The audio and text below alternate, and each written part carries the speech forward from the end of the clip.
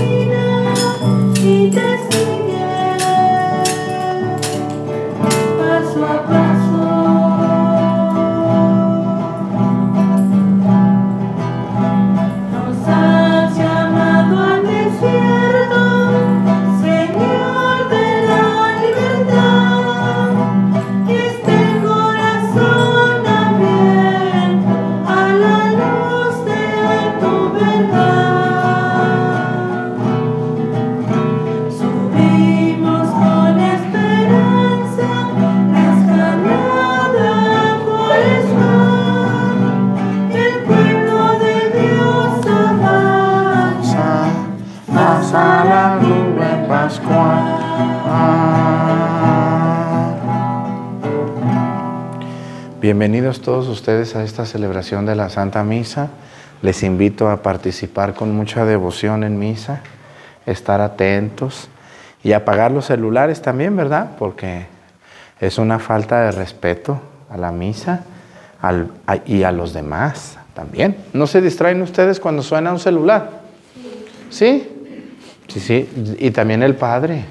Porque lo dicen, ay, el Padre se enoja. No, no se enoja, se distrae. El Padre tiene que estar lo que va a decir y si suena y suena. Y luego hay unas que no lo apagan, ahí están. Se hacen como las estatuas ahí. Apáguelo, señora, ¿eh? por favor. Vamos a pedirle a Dios nuestro Señor en esta Santa Misa por un país donde nos ven mucho. Vamos a pedir por Canadá. Un saludo a Canadá. Canadá está lleno de migrantes de todos los colores y de todas las nacionalidades del mundo, pero sobre todo de latinos. O sea, mexicanos, argentinos, este, brasileños, cubanos, guatemaltecos, hondureños, costarricenses, este, dominicanos, panameños, hondureños, salvadoreños, colombianos, venezolanos, ecuatorianos, peruanos, chilenos y, y muchos más que me faltan todavía, por decir. Vamos a pedir por Canadá, que Dios les bendiga, hermanos. Mucha gente nos ve allá. Que Dios bendiga a su país y allí donde ustedes viven, no se olviden de sus raíces católicas, no se olviden de ir a misa, luego me entero que se van y ya se hacen testigos de Jehová, o sea, ¿qué se hacen ya? Ni, creen en nada. ¿Qué es eso? ¿Qué, qué, qué tristeza, ¿verdad? Hay que seguir donde estemos, hay que seguir nuestra fe. También hoy vamos a pedir por todas las personas que trabajan repartiendo gas, los gaseros, esos que despiertan a la gente en la mañana, ¿no? El gas gritan y tocan campanas y ponen música.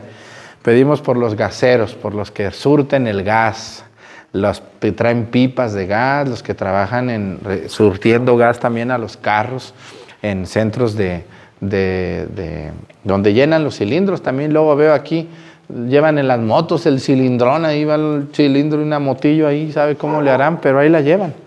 Pedimos por todas las, todas las gaceras, que Dios les bendiga. Y ya ven que estamos empezando a pedir por todos los municipios de México. Mucha gente me decía, es que usted nomás pide por los estados y nomás pide por uno, dos, tres ciudades grandes y todos los pueblitos no pide por nosotros. Pues me animé y le dije a, mi secretaria, hazme mapas de todos los estados y ponme el mapa y los municipios. Y unos mapas tan grandotes, otros tan chiquillos, pero, pero todavía tengo buenos ojos. Así que le mandamos un saludo hoy al estado de Nayarit, un saludo a ese bellísimo estado del occidente de México, occidente norte de México, Pedimos por Nayarit, por toda la gente que allí nos ve, muchísima gente nos ve en Nayarit.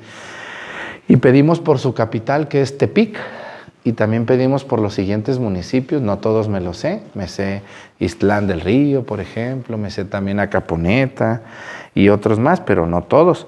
Pedimos por el municipio de Guajucori, del Nayar, mucha gente nos ve en el Nayar, y también pedimos en esta misa por Tecuala, por Rosa Morada, Ruiz, yo ahí tenía unos tíos, fíjense, en Ruiz, seguramente me ven, de mi pueblo. Por Tuxpan, Santiago Iscuintla, por La Yesca también, pedimos por Santa María del Oro, Jala, Islán del Río, Amatlán de Cañas, Aguacatlán, San Pedro Lagunillas, La Bahía de Banderas, que tiene unas playas hermosísimas. Yo cuando era niño me llevaban ahí Ahí está Rincón de Guayabitos, ahí todo eso. Es muy bonito. Yo ahí fue la primera playa que conocí. Un saludo a Rincón de Guayabitos. Fue la primera cuando era niño. Me llevaron y conocí la playa allí. También pedimos por Compostela, por Jalisco, se escribe con X, Jalisco. Este es un municipio de Nayarit, aunque se llama Jalisco. Y también por el Muelle de San Blas. ¿Se acuerdan de la canción del Muelle de San Blas? Ahí está el municipio de San Blas, ¿no? Esa mujer que se quedó esperando al marinero que se le fue, ¿verdad? ¿Sí se acuerdan de la canción de Maná de San Blas? Ahí, ahí, se, se, cuenta esa historia. Pedimos por el, por el estado de Nayarit y les mandamos un gran saludo y nuestro agradecimiento también. En el nombre del Padre, del Hijo y del Espíritu Santo, la gracia de nuestro Señor Jesucristo, el amor del Padre, y la comunión del Espíritu Santo esté con todos ustedes. Pidámosle perdón a Dios por todas nuestras faltas. Yo confieso ante Dios Todopoderoso y ante ustedes, hermanos, que he pecado mucho de pensamiento, palabra, obra y omisión, por mi culpa, por mi culpa, por mi grande culpa.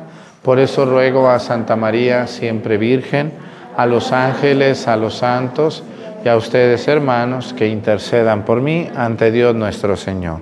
Dios Todopoderoso tenga misericordia de nosotros, perdone nuestros pecados y nos lleve a la vida eterna.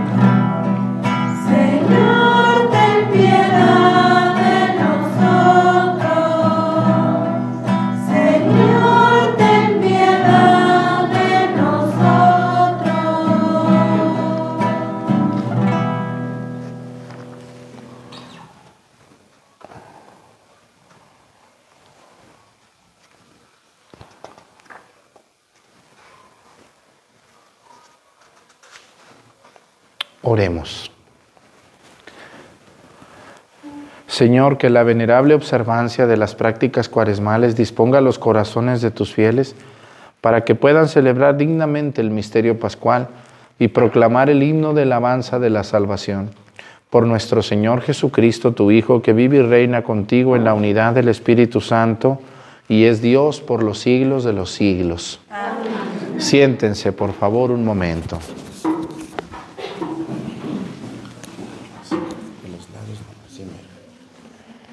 Del libro del profeta Ezequiel. En aquellos tiempos un hombre me llamó a la entrada del templo, por debajo del umbral.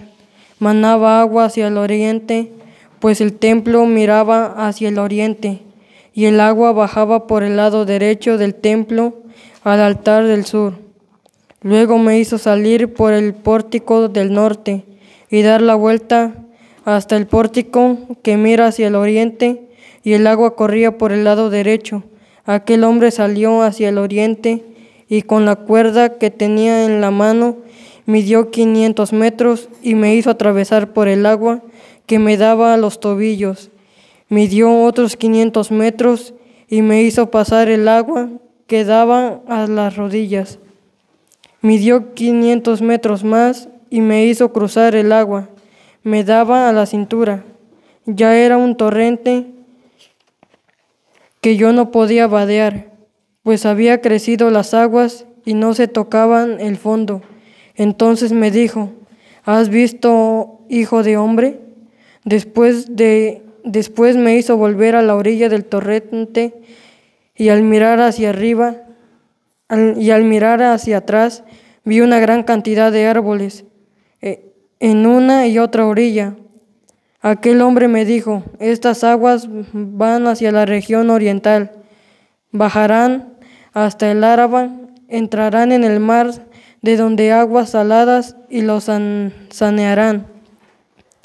Todo ser viviente que se mueva por donde pasa el torrente vivirá.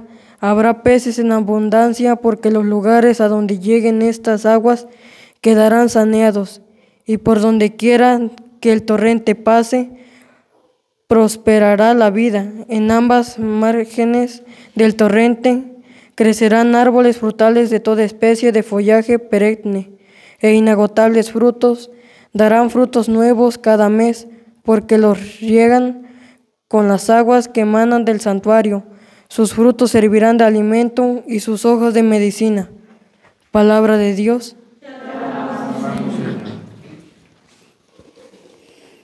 Con nosotros está Dios, el Señor. Con nosotros está Dios, el Señor. Dios es nuestro refugio y nuestra fuerza, quien en todo peligro nos socorre. Por eso no tememos aunque tiemble y aunque al fondo del mar caigan los montes. Con nosotros está Dios, el Señor. Un río alegra la ciudad de Dios, su morada el Altísimo hace santa. Teniendo a Dios Jerusalén no teme, porque Dios la protege desde el alba. Con nosotros está Dios, el Señor. Con nosotros está Dios el Señor. Es el Dios de Israel nuestra defensa. Vengan a ver las cosas sorprendentes que ha hecho el Señor sobre la tierra.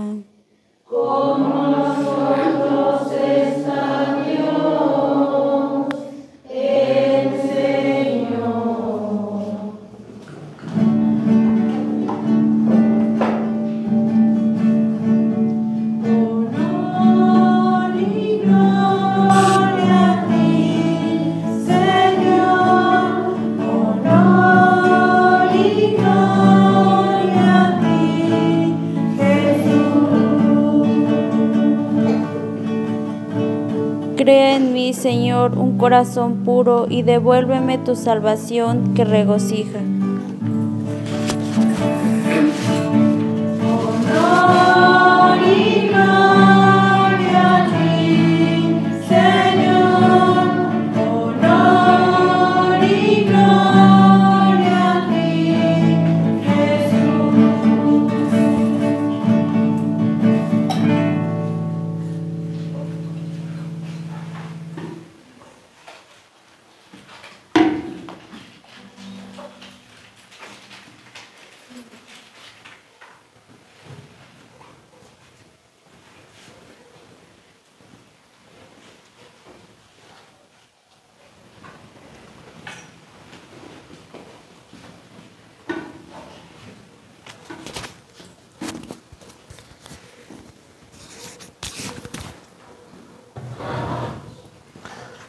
El Señor esté con ustedes.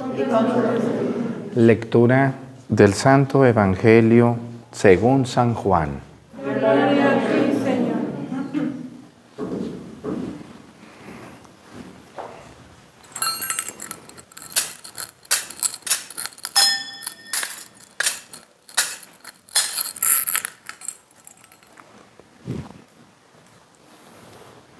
Era un día de fiesta para los judíos cuando Jesús subió a Jerusalén. Hay en Jerusalén, junto a la puerta de las ovejas, una piscina llamada Betesda. En hebreo, con cinco pórticos, bajo los cuales yacía una multitud de enfermos, ciegos, cojos y paralíticos que esperaban la agitación del agua porque el ángel del Señor descendía de vez en cuando a la piscina, agitaba el agua, y el primero que entraba en la piscina, después de que el agua se agitaba, quedaba curado de cualquier enfermedad que tuviera. Entre ellos estaba un hombre que tenía 38 años enfermo. Al verlo ahí tendido y sabiendo que ya llevaba mucho tiempo en tal estado, Jesús le dijo, ¿Quieres curarte? Le respondió el enfermo, Señor, no tengo nadie que me meta en la piscina cuando se agita el agua. Cuando logro llegar, ya otro ha bajado antes que yo. Jesús le dijo, levántate, toma tu camilla y anda. Al momento el hombre quedó curado, tomó su camilla y se puso a andar. Aquel día era sábado. Por eso los judíos le dijeron al que había sido curado, no te es lícito cargar tu camilla. Pero él contestó, el que me curó me dijo, toma tu camilla y anda. Ellos le preguntaron, ¿quién es el que te dijo, toma tu camilla y anda? Pero el que, el que había sido curado no lo sabía porque Jesús había desaparecido de entre la muchedumbre. Más tarde lo encontró Jesús en el templo y le dijo, mira, ya quedaste sano, no peques más, no sea que te vaya a suceder algo peor. Aquel hombre fue y les contó a los judíos que el que lo había curado era Jesús. Por eso los judíos perseguían a Jesús porque hacía estas cosas en sábado. Palabra del Señor. Siéntense un momentito, por favor. Este Evangelio está lleno de símbolos, de signos, de cosas verdaderamente bien interesantes a tratar en este día. Así que pónganme mucha atención. Vamos a hablar como de varias cosas que suceden. Primero que nada, quédense después de misa aquí en YouTube. Vamos a mostrarles en la Tierra Santa hay un templo a un ladito de esta piscina la piscina de Betesda, así se llama, lo que era, era una piscina, era una alberca, pero no como hoy la entendemos. Yo les invito, los que están viendo la misa solo en María Visión o solo en YouTube, eh, solo, perdón, solo en María Visión o solo en Facebook, váyanse a YouTube. Terminando la misa les vamos a transmitir exactamente este lugar. Hoy es conocido como la iglesia de Santana y la administran una congregación de Francia que se llaman los Padres Blancos, porque utilizan una vestimenta blanca, son franceses. Ellos la administran y está en Jerusalén. Miren, la ciudad de Jerusalén tenía cuatro entradas.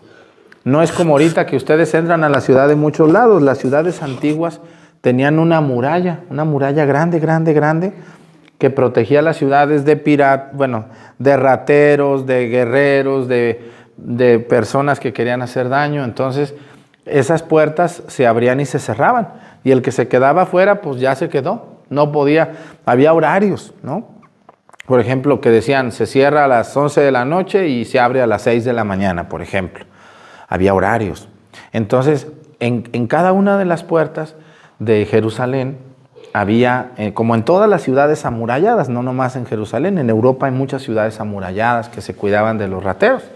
Hoy estaría bien que hiciéramos murallas, ¿no creen ustedes? El problema es que las ratas están adentro, ya no llegan de afuera. Luego la gente del, dice, yo voy a un pueblo y lo dicen, ay padre, ¿qué vamos a hacer? Es que la gente de fuera viene aquí a delinquir. No, si son los que allí viven, no, no sea que usted exagerada, andan pensando que son los de fuera, son los de aquí de la casa, señora. Se asustan del vecino y en la casa tienen al diablo, ¿verdad? Así a veces estamos. Miren, eh, pero entonces en Jerusalén, como, como la gente antes no había carros, llegaban en camellos, llegaban en burros, los que tenían más dinerito pues en un caballito, ¿verdad? Y muchos llegaban caminando. Entonces, cuando uno hace, cuando uno camina o anda en un burro asoleándose, pues uno suda, ¿no? Y, y, entonces la gente llegaba a las ciudades y en esas ciudades siempre al entrar ponían una piscina, que era, no es como una alberca, era como una pila de agua, grandota, donde la gente llegaba y tomaba agua, se bañaba, se lavaba su cuerpo, su ropa. Incluso había ciudades donde si no te lavabas, no te bañabas, no podías entrar. Era muy normal esto de las piscinas. Hoy no, hoy, nosotros las albercas vamos, pero a nadar por gusto. Eso, era, eso no, era, no era la imagen de la piscina, la piscina es otra cosa. Entonces, había una piscina que se llama Betesda, pero aquí la gente iba porque lo veían como, como un acto milagroso. Dicen que de vez en cuando la piscina, que estaba llena de agua, se empezaba a mover el agua así mucho, como si algo pasara, y la gente decía que era el ángel de Dios que bajaba a curar a una persona. Entonces, si ustedes se fijan, ¿En, dónde es donde hay más personas pidiendo limosna? En la entrada de las iglesias, en la entrada de los museos, en la entrada de los centros comerciales, hoy en día, ¿no? En Jerusalén, ¿en dónde era donde se juntaba la gente enferma, pobre, lisiada? En las entradas de la ciudad. ¿Por qué? Porque llegaban los forasteros con dinerito y por ahí llegaba y por ahí salía también la gente. Entonces, las entradas eran un lugar muy bueno para pedir limosna, para pedir ayuda, ¿no? Entonces, las entradas de Jerusalén estaban llenas de personas muchas veces enfermas, sin trabajo, que estaban buscando algún trabajito, algo, alguna manera de sacar adelante a su familia. Pero también estaba llena de enfermos. Y esa piscina era famosa porque se movía el agua en cierto momento del, del año. Entonces dicen que el primero que entraba, cuando se movía el agua, se curaba. Era como algo milagroso. Y, en, ese, en ese caso Jesús llegó ahí. Yo creo que Jesús también llegó y se estaba lavando, ¿no? Porque dice que estaba llegando. Yo creo que Jesús estaba lavando sus pies o algo, ¿verdad? Este, ¿No ven las señoras cuando llueve llegan a la iglesia, luego ponen una cubetita y ahí están lavándose los guaraches? ¿O no, señoras? Yo las he visto. Las que son limpias, otras cochinas ahí entran como sea. Pero las que tienen respeto se lavan los pies, ¿o no es cierto eso? Sí, yo las he visto. Bueno, pues yo creo que Jesús llegó caminando y dijo, no, pues voy a echar aquí un bañito ahorita. Y ahí se puso a platicar y dice que vio a este hombre, que era un cojo tullido, ¿no? O sea, no podía caminar, pobrecito. Y, y entonces, pues estaba postrado ahí, en la entrada, esperando. Y, y, habla Jesús con él y le dice, oye, ¿por qué no, no te has curado?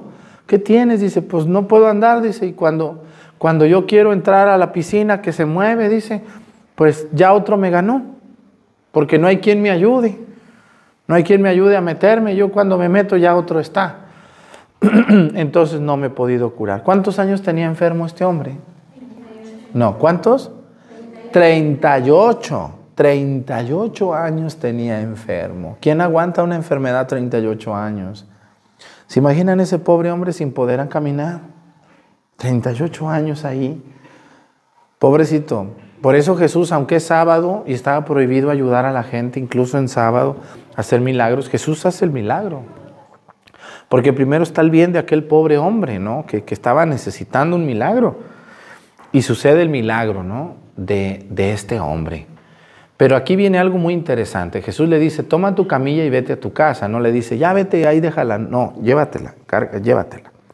Y ya viene el conflicto con los judíos, que quien te curó, que porque en sábado, que...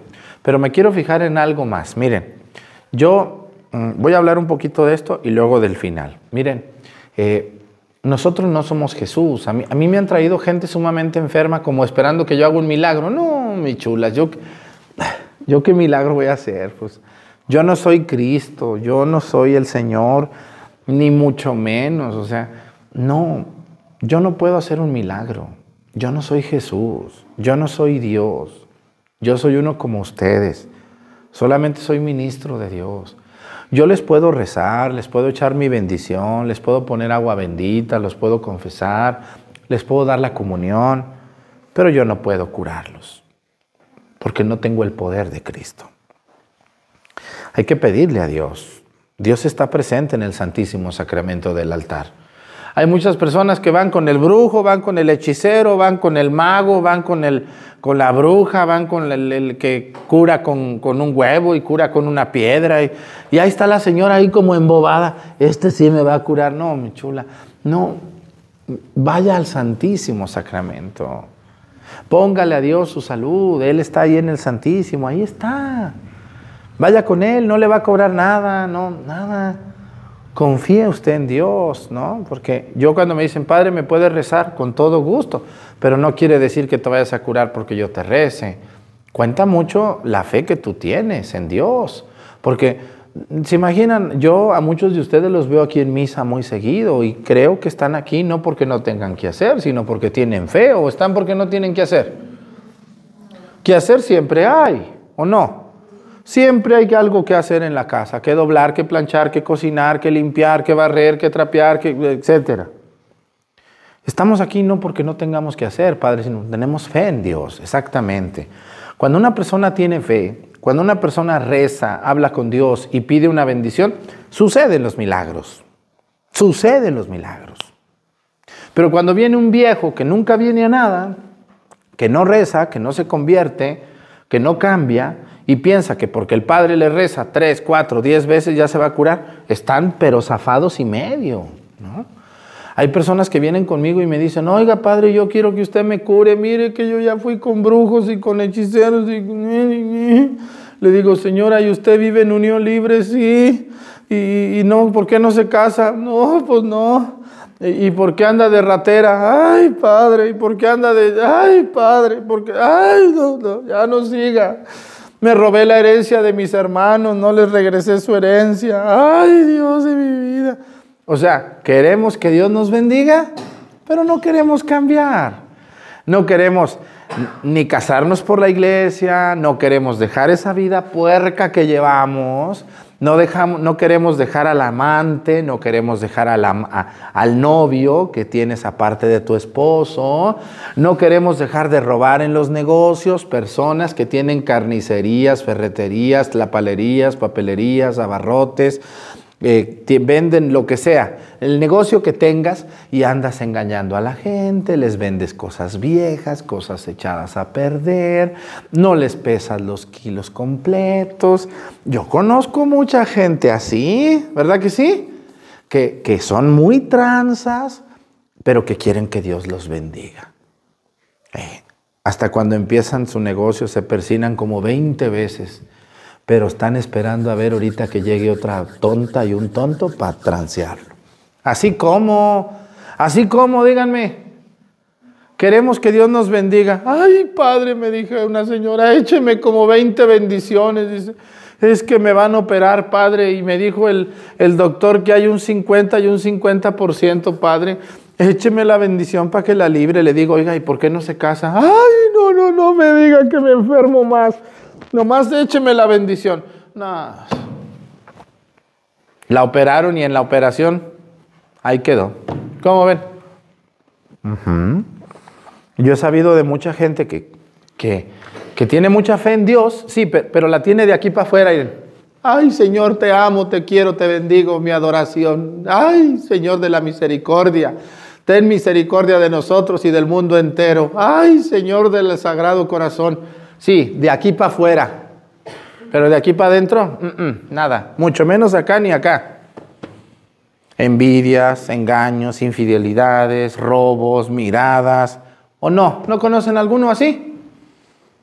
Que le prende como 20 veladoras a San Judas Tadeo, pero con el vecino es el diablo. ¿Eh?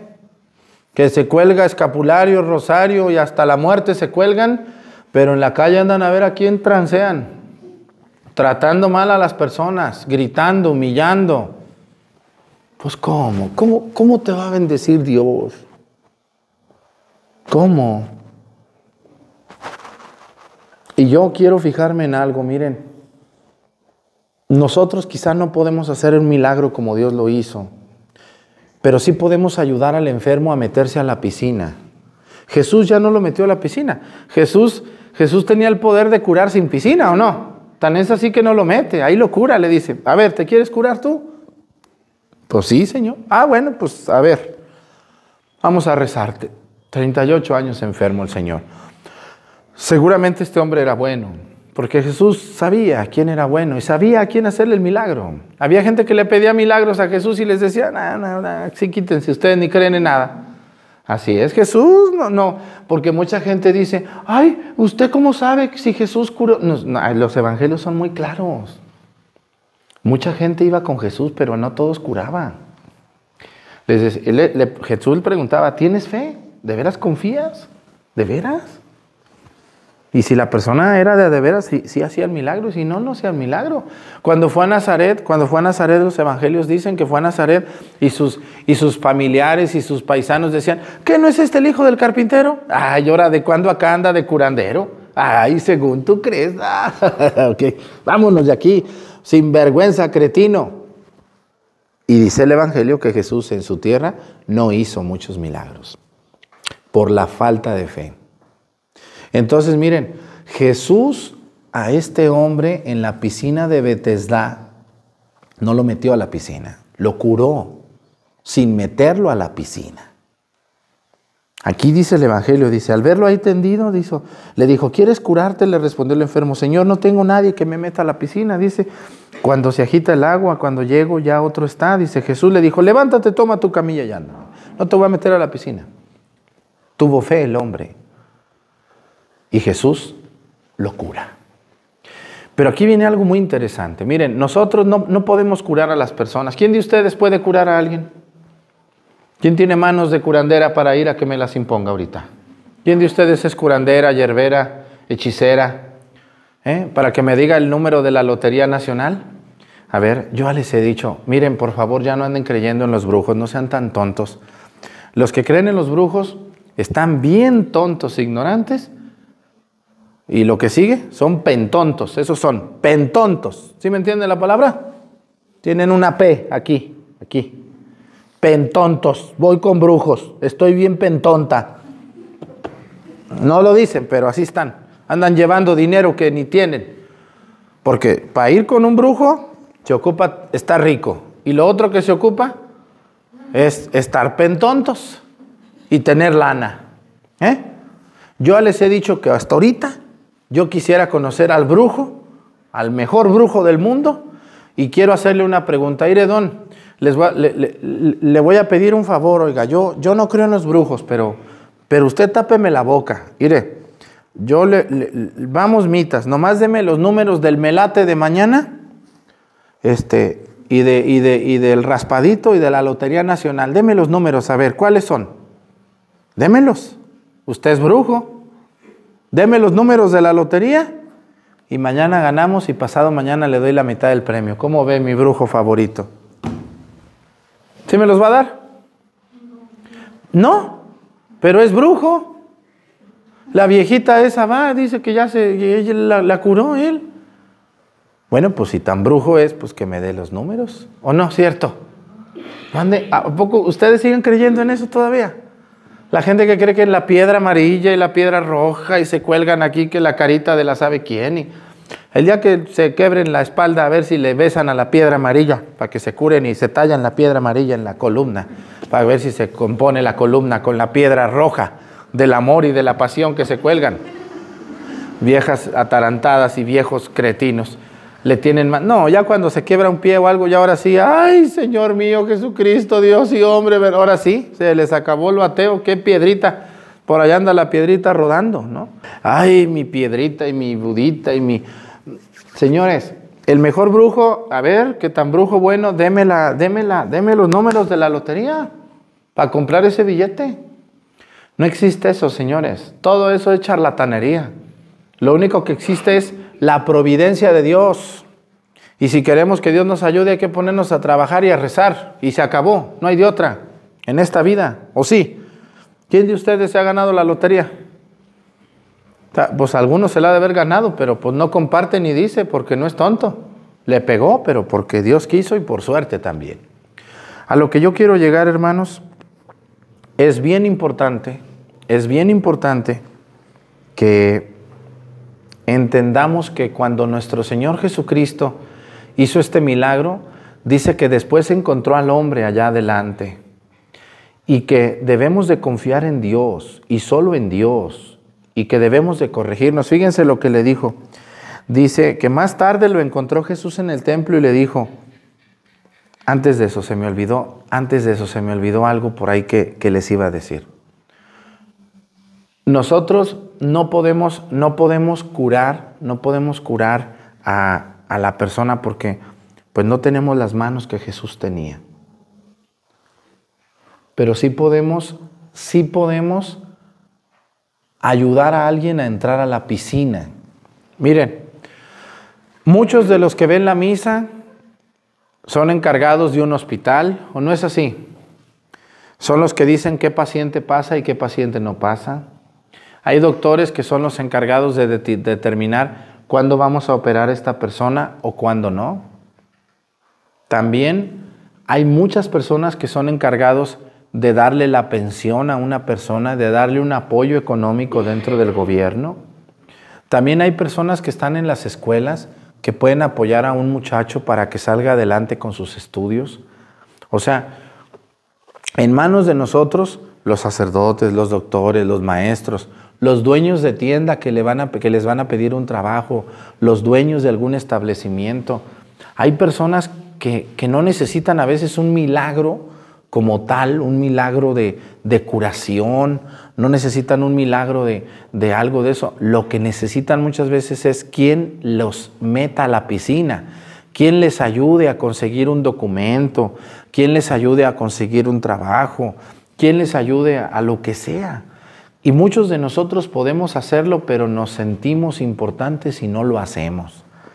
Así que yo les quiero invitar a ustedes, hermanos, los que tienen en sus manos el destino de una persona, los que tienen en sus manos el darle trabajo a una persona muy necesitada, los que tienen en sus manos la posibilidad, la posibilidad de, de hacer algo por alguien, hay que hacerlo.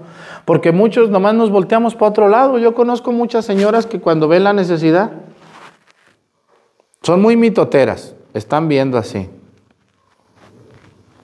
Pero ya que ven que ocupan, vámonos, vámonos ya. Así somos los seres humanos. Nos hacemos los que no me toca, no puedo, no me ocupa, a mí no me toca, yo no puedo ayudarte, hay que Dios te bendiga. Y a veces sí podemos, a veces sí podemos. ¿Mm? No podemos arreglarle la vida a todo mundo, pero podemos ayudar donde nos toca. Esa, esa Cristina Pacheco a mí me caía muy bien, esa, esa frase que, que, ella acuñó, que ya murió, era una gran periodista de Canal 11 que decía, tenía un programa los sábados, me acuerdo 8 o 9 de la noche, no me acuerdo, que decía en el Canal 11, decía, aquí nos tocó vivir. Y aquí nos tocó vivir es, aquí nos tocó servir, aquí nos tocó ayudar con los que vivimos, porque muchas personas luego dicen, ay, ¿yo qué le voy a andar ayudando a esta o a este? ¿Y a quién le vas a ayudar? Pues a los extraterrestres o a quién, ¿eh? ¿O vas a ir a ayudarles allá a los de Rusia o qué? No, pues aquí nos tocó vivir, ¿no? Yo, yo les he dicho a la gente de otras parroquias, les digo, yo no, yo no puedo ir a celebrarles. ¿Se imaginan cuántas invitaciones llegan para que yo vaya que a casar, que a bautizar, que... ¿Sí creen ustedes que llegan muchas invitaciones?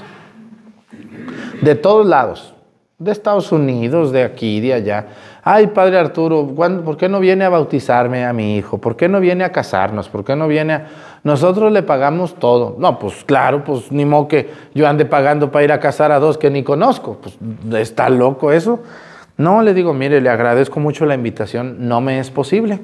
No alcanzo, no alcanzo ni aquí, voy a andar allá. No, pues no, no, no puedo. No puedo. ¿Por qué? Porque allá no me tocó vivir. Me tocó estar con ustedes. Yo no puedo andar, yo no soy ni Cristo ni soy un redentor. Me tocó estar aquí en esta parroquia y aquí sí, si ustedes me piden una misa, ¿cuándo les he dicho que no? Alguna vez les he dicho, no, ese día no puedo, pero, pero tal, al día siguiente puedo. ¿eh? O a tal hora puedo.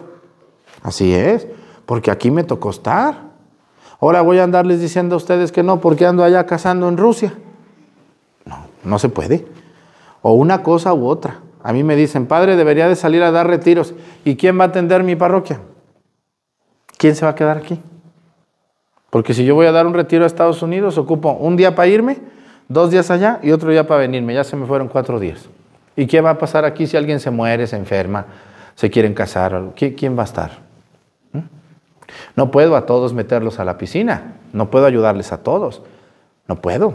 Allá donde están ellos hay sacerdotes y hay parroquias y hay todo, nomás que pues quieren que vaya el padre Arturo para lucirnos, para que digan, ay, qué importante. No, es lo mismo, allá donde ustedes están hay buenos sacerdotes, ahí acudan a ellos, ellos les van a ayudar de manera mejor que yo, porque ellos no los van a regañar como esas señoras que dicen, eh, viejo regañón.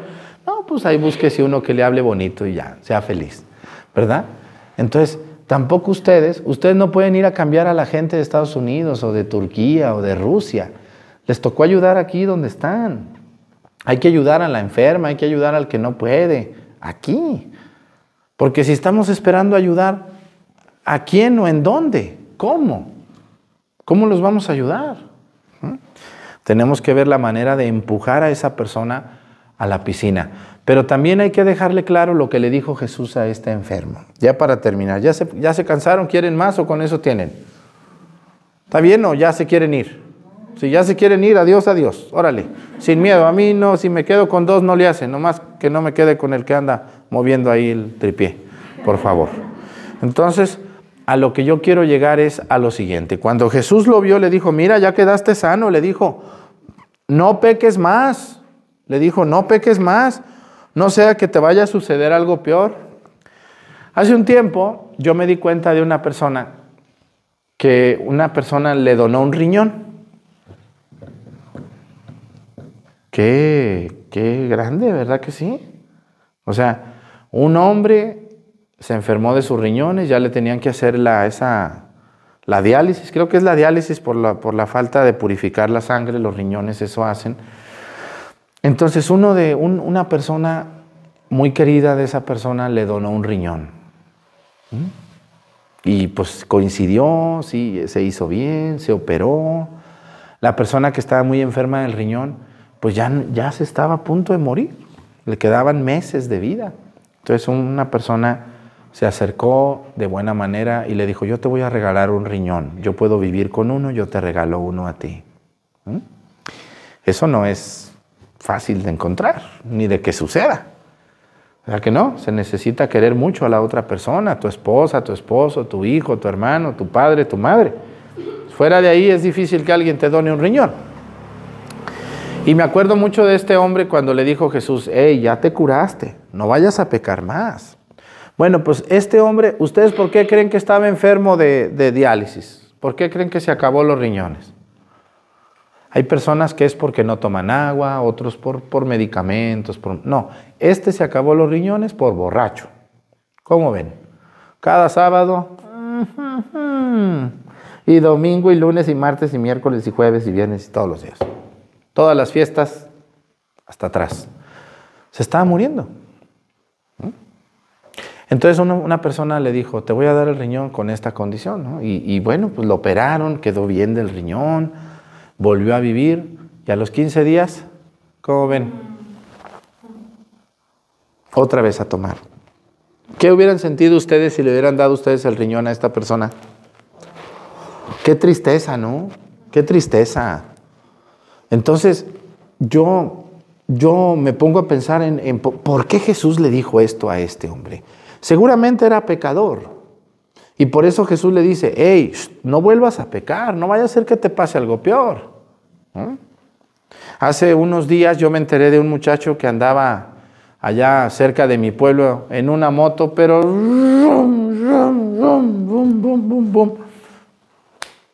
se dio en toda la torre. ¿Mm? Le tuvieron que cortar un pie porque quedó su pie trabado por ahí. Le dije, no, y de milagro estás vivo, ¿verdad?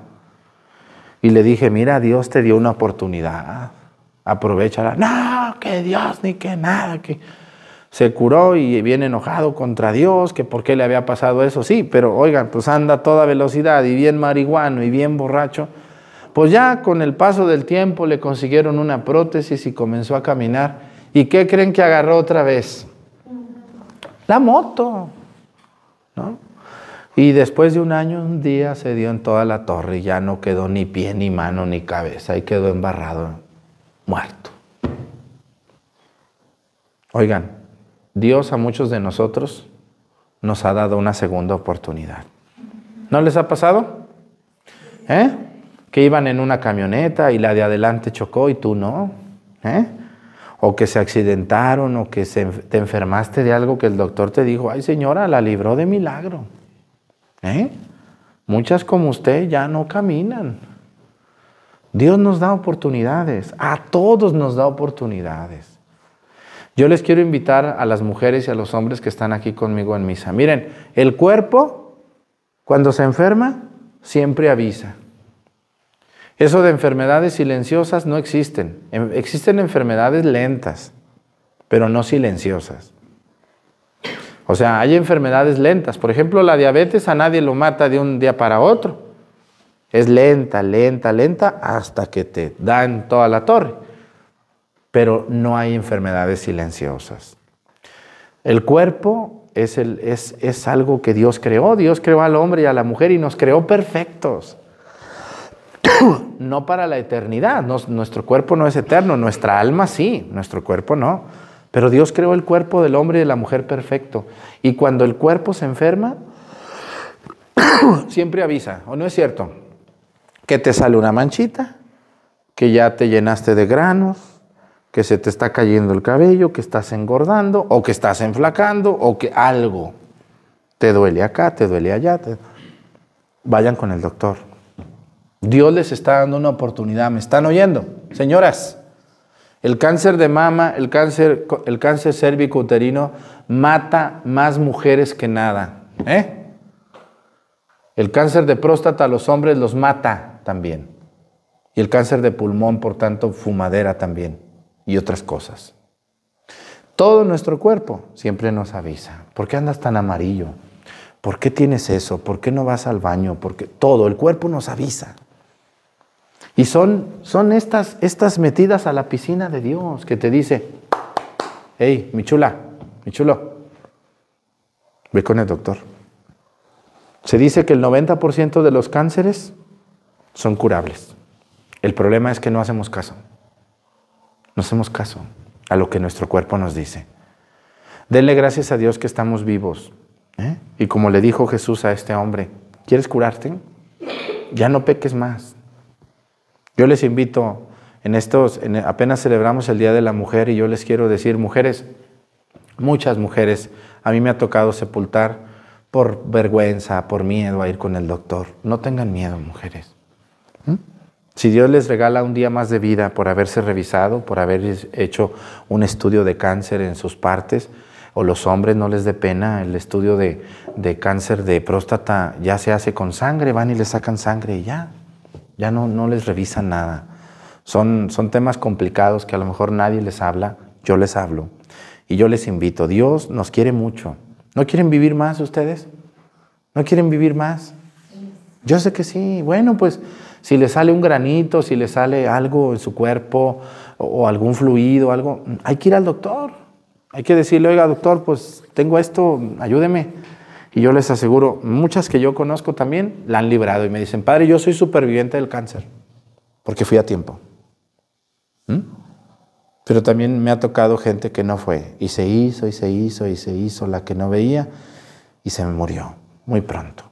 Que Dios les ayude, hermanos. Dios nos quiere bien. Cuando Dios te mande una oportunidad, aprovechala. Ya si te toca morirte en un accidente, pues ahí sí ya. No hubo aviso. Pero cuando hay enfermedad, Dios avisa. Que Dios nos ayude a todos y nos proteja. Pónganse de pie, por favor. Presentemos ante el Señor nuestras intenciones. Vamos a decir todos, Padre, escúchanos.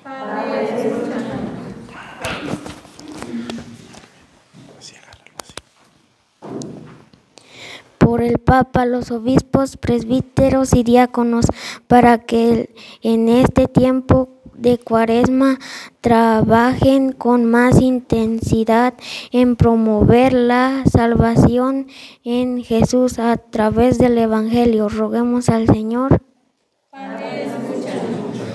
por los que tienen en sus manos el destino de los pueblos, para que el Espíritu Santo derrame sobre ellos el don de la sabiduría y así tomen buenas decisiones a favor de todos.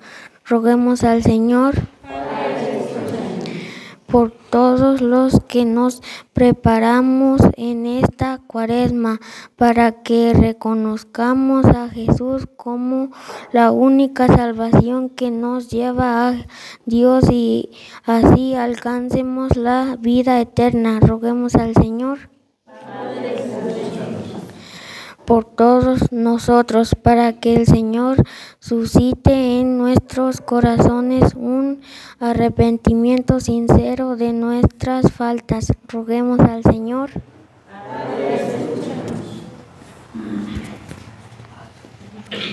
Pidamos a Dios por todas las personas que Dios les ha regalado otra oportunidad para que la aprovechen, vivan intensamente su vida, se cuiden se conviertan a Dios, se confiesen, busquen a Dios por sobre todas las cosas en esta oportunidad que Dios les ha dado. Por Jesucristo nuestro Señor. Siéntense, por favor.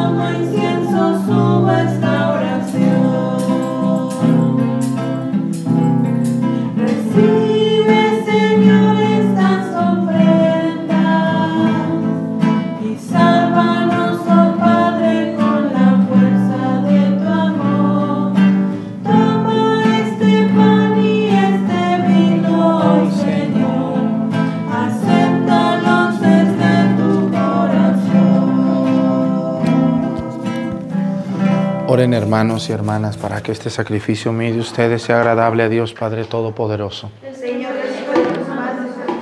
Vamos a gloria a su nombre, para nuestro bien y el de toda su santa iglesia.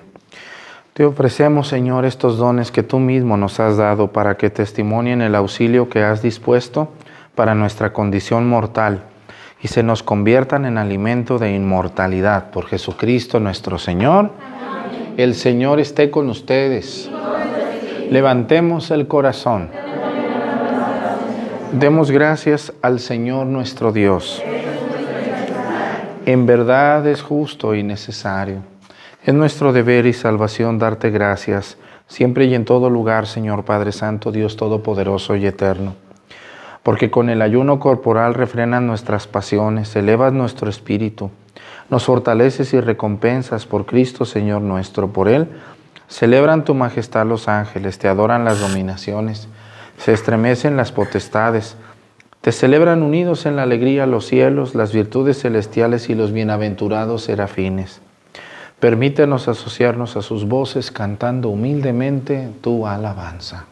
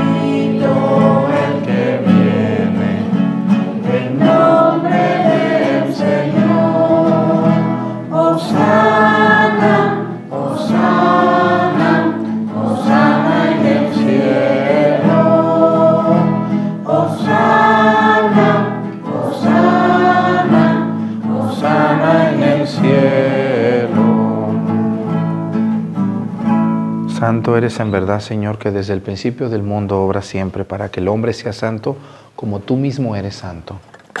Te pedimos que mire los dones de tu pueblo y derrame sobre ellos la fuerza de tu Espíritu para que se conviertan en el cuerpo y la sangre de tu amado Hijo Jesucristo, en quien nosotros también somos hijos tuyos. Aunque en otro tiempo éramos incapaces y estábamos perdidos de acercarnos a ti, nos amaste hasta el extremo. Tu Hijo, que es el único justo, se entregó a sí mismo a la muerte, aceptando ser clavado en la cruz por nosotros.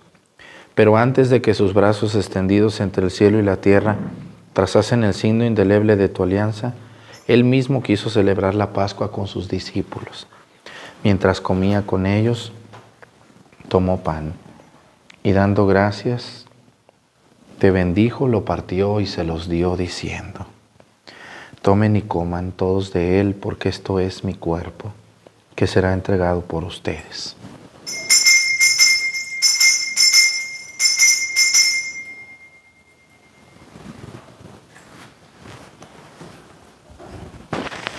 Del mismo modo, acabada la cena, sabiendo que iba a reconciliar todas las cosas en sí mismo, por su sangre derramada en la cruz, tomó el cáliz lleno del fruto de la vid y dándote gracias de nuevo, lo pasó a sus discípulos diciendo, tomen y beban todos de él, porque este es el cáliz de mi sangre, sangre de la alianza nueva y eterna, que será derramada por ustedes y por muchos para el perdón de los pecados.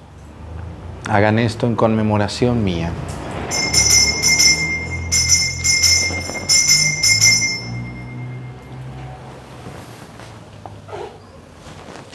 Este es el sacramento de nuestra fe. Así pues, al hacer el memorial de tu Hijo Jesucristo, nuestra Pascua y nuestra paz verdadera, celebramos su muerte y resurrección de entre los muertos y mientras esperamos su venida gloriosa, te ofrecemos Dios fiel y misericordioso, la víctima que reconcilia a los hombres contigo.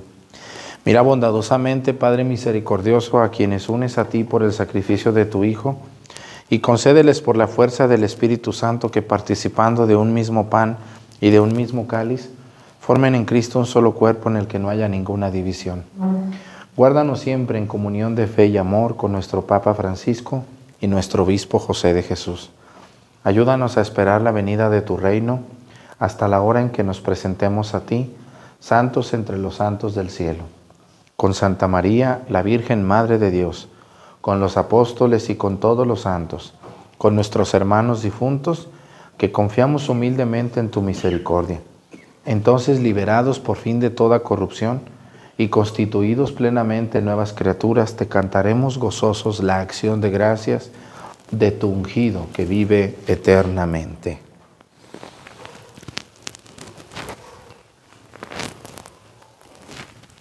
Por Cristo, con Él y en Él, a ti Dios Padre Omnipotente, la unidad del Espíritu Santo, todo honor y toda gloria por los siglos de los siglos.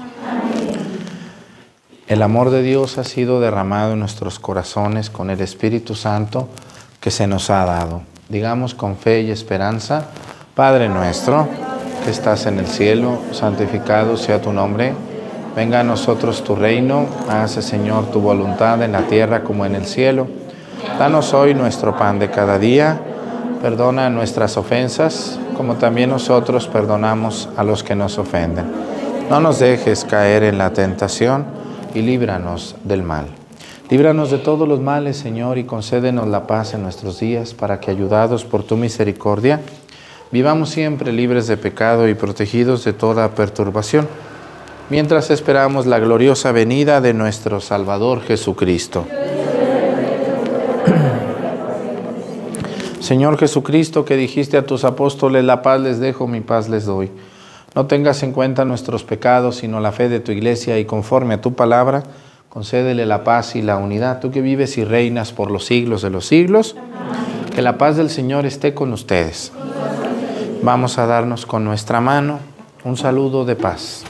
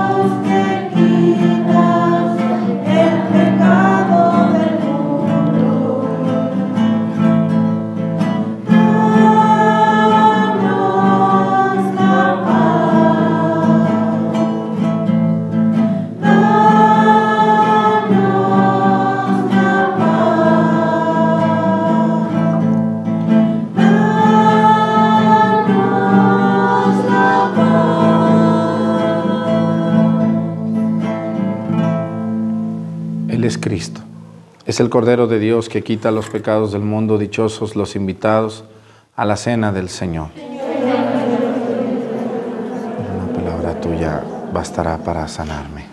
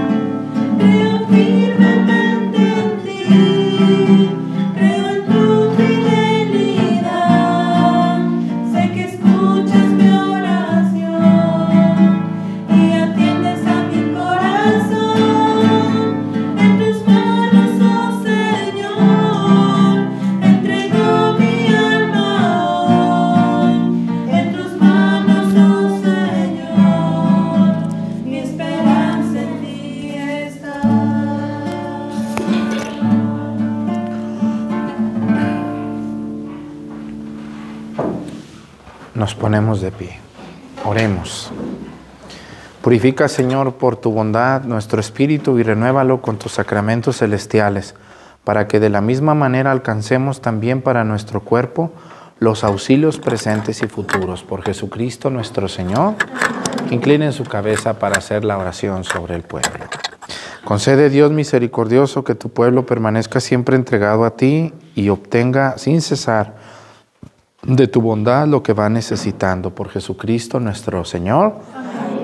Quiero agradecer a toda la gente que ha ido a mi pueblo, allá en Mesticacán, al Parque del Sagrado Corazón de Jesús. Yo yo crecí en ese pueblo y nací, y ahí, en ese pueblito de no más de 5 mil habitantes, yo aprendí a amar a Dios. Por eso soy un hombre enamorado de Dios, del Sagrado Corazón de Jesús, soy un hombre muy devoto. Allí en mi pueblo está el primer santuario dedicado al Sagrado Corazón de Jesús de toda América, cuando aquella familia de españoles trajo aquella reliquia a ese pueblito y construyeron una iglesia que después se llamó el santuario. Hoy ese ranchito donde vive gente se llama el santuario. Y muchas veces yo fui, se caminan cinco kilómetros de mi pueblo a ese lugar, rezando, platicando, meditando. Es un camino lleno de árboles muy bonito. Están invitados a ir y, y por esa razón yo cuando conocí a estas nueve señoras que me ayudaron económicamente, construimos ese mosaico que es el mosaico más grande del mundo dedicado a una imagen religiosa como es el Sagrado Corazón de Jesús. Ese mosaico, mm, las personas que han hecho reportajes, pues yo sé que a veces no, no, cuidan un poquito lo que dicen, pero son 7 millones de mosaicos. Cada mosaico mide 2 centímetros por 2 centímetros, cada mosaiquito y, el, y el, toda, la, toda la medida es de 25 metros por 60. Entonces, si multiplican, nos da 7 millones de mosaicos, todos hechos a mano, de uno por uno, pegado a mano. Es una obra de arte y es una maravilla. Subirse al mirador y verlo es algo precioso. Yo les invito a que vayan. Los que han ido, muchas gracias. Aparte de eso, en los pies donde está el Sagrado Corazón de Jesús, ya lo arreglamos y ya se está hundiendo otra vez porque ahí hay agua. Ya hicimos un pozo, hice un pozo a un lado ahí y salió agua muy buena, muy rica. Cuando yo voy hasta tomo, ¿no han visto que salí con una manguerita tomando agua? Ahí plantamos más de mil árboles, todos están creciendo y es un lugar de oxígeno, de tranquilidad, de paz, de rezar, de, pueden ir a comer con su familia allí, nomás no andar de borrachos, ni tomar, ni poner música loca, no se permite, porque pues, al rato de tener ahí borrachos orinados y tirados, no, no, eso no se permite. Entonces pueden ir a comer, a platicar, a caminar. Vayan, vayan cuando puedan. Y ahí en la entrada está una alcancía para que le echen, porque ahí se pagan señoras que cuidan los árboles, que riegan, que abren, que cierran. Se abre todos los días menos los lunes, los lunes descansan ellas, ¿no? Está abierto de martes a domingo, desde las 7 de la mañana hasta las 7 de la noche. Pueden ir el día que quieran, estarse el tiempo que quieran. Y aparte van a visitar al Sagrado Corazón de Jesús en su santuario, van allí y se comen una paleta. Mi pueblo son las mejores paletas de todo México. Porque están buenas, porque todo mi, mi pueblo hace paletas. Entonces los que allí venden, como todos los que allí viven saben hacer paletas, pues tienen que ser muy buenas. Si no, no las comen. Todas son muy ricas y son muy baratas. Así que les invito de todo corazón cuando vayan y ahí, gracias a los que han ido, está una alcancía a la entrada, le echan ahí y pues muchas, muchas gracias a los que han hecho esto. Dios les bendiga. Vamos a terminar la misa, disculpen que me tardé, pero me emociono, ¿verdad? El Señor esté con ustedes y la bendición de Dios Padre, Hijo y Espíritu Santo descienda sobre ustedes y permanezca para siempre. Que tengan un bonito día, nos vemos mañana con la ayuda de Dios. Muchas gracias.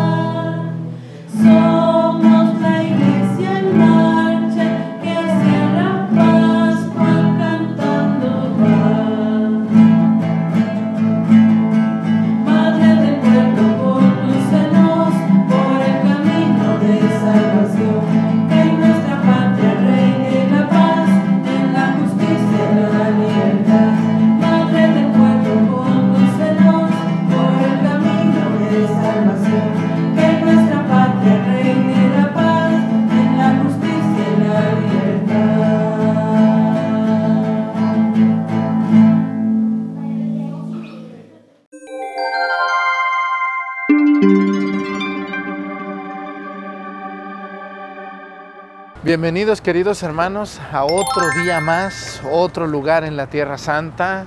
Estamos en esta muralla de 1548 más o menos. No es la muralla de la ciudad de Jerusalén original. Hay que entender que esta muralla se ha reconstruido y restaurado más de 15 veces porque la ciudad de Jerusalén fue destruida más de 15 veces, saqueada, explotada. Así que bueno, pues estamos viendo muy cerca de la puerta de Damasco, por esta calle que se llama la calle de Suleimán. Vamos a entrar nosotros por esta puerta a un lado de la puerta de Damasco. Acompáñenme por favor, vamos a ir a la iglesia de Santa Ana, a visitarla y a estar allí para conocer este maravilloso lugar.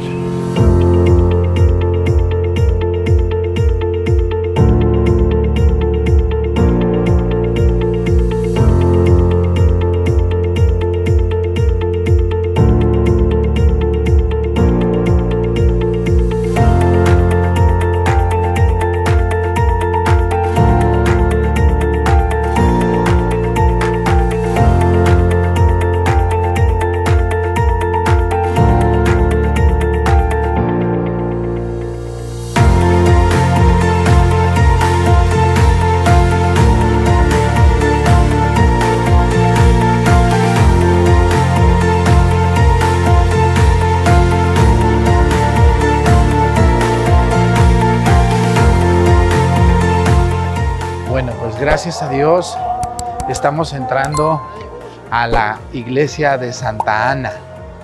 Este lugar es propiedad de Francia y aquí custodian los padres blancos, que es una congregación así llamada por su vestimenta de color blanco. Y este lugar es un lugar maravilloso donde se encuentra una de las piscinas más famosas que aparece en el Evangelio la piscina de Bethesda. Vamos para allá para mostrarles lo que aquí pasó. Vamos para allá. Esta es la fachada de la iglesia de Santa Ana. Y les digo, es propiedad de Francia. Vamos a entrar ahorita y ahorita vamos a hablar un poquito de esta piscina.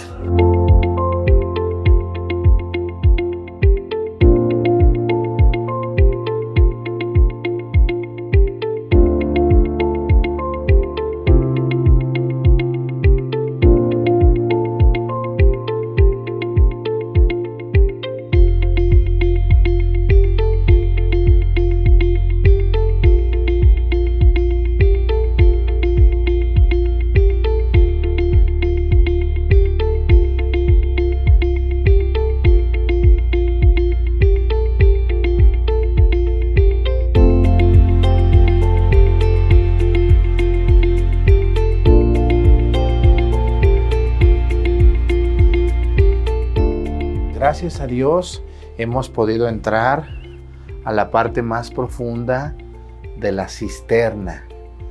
Nosotros estamos viendo, vamos a caminar para que vean ustedes, pude bajar a la parte arqueológicamente hablando más antigua de lo que era la piscina de Bethesda.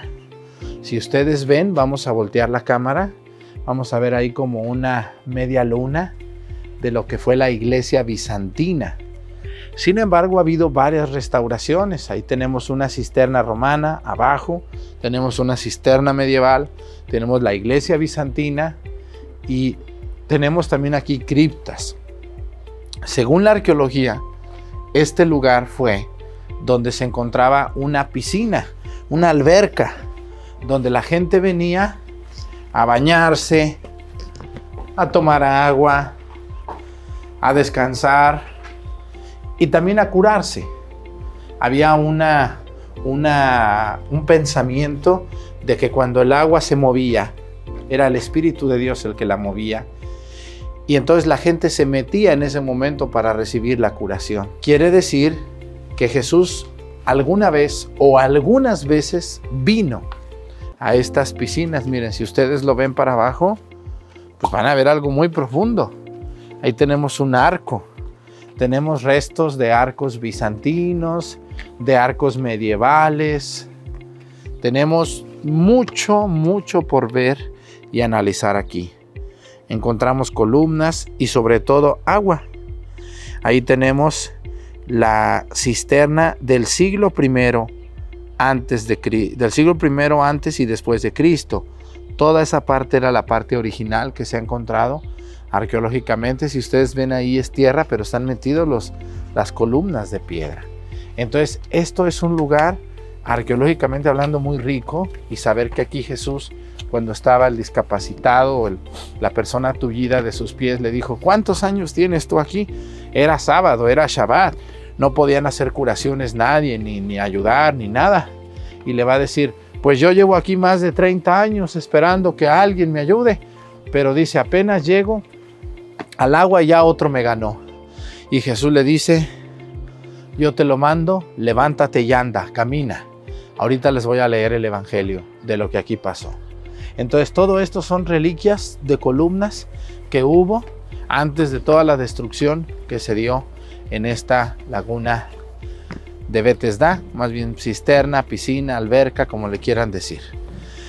Y aquí, curiosamente también, va a haber una iglesia que es llamada la iglesia de Señora Santa Ana.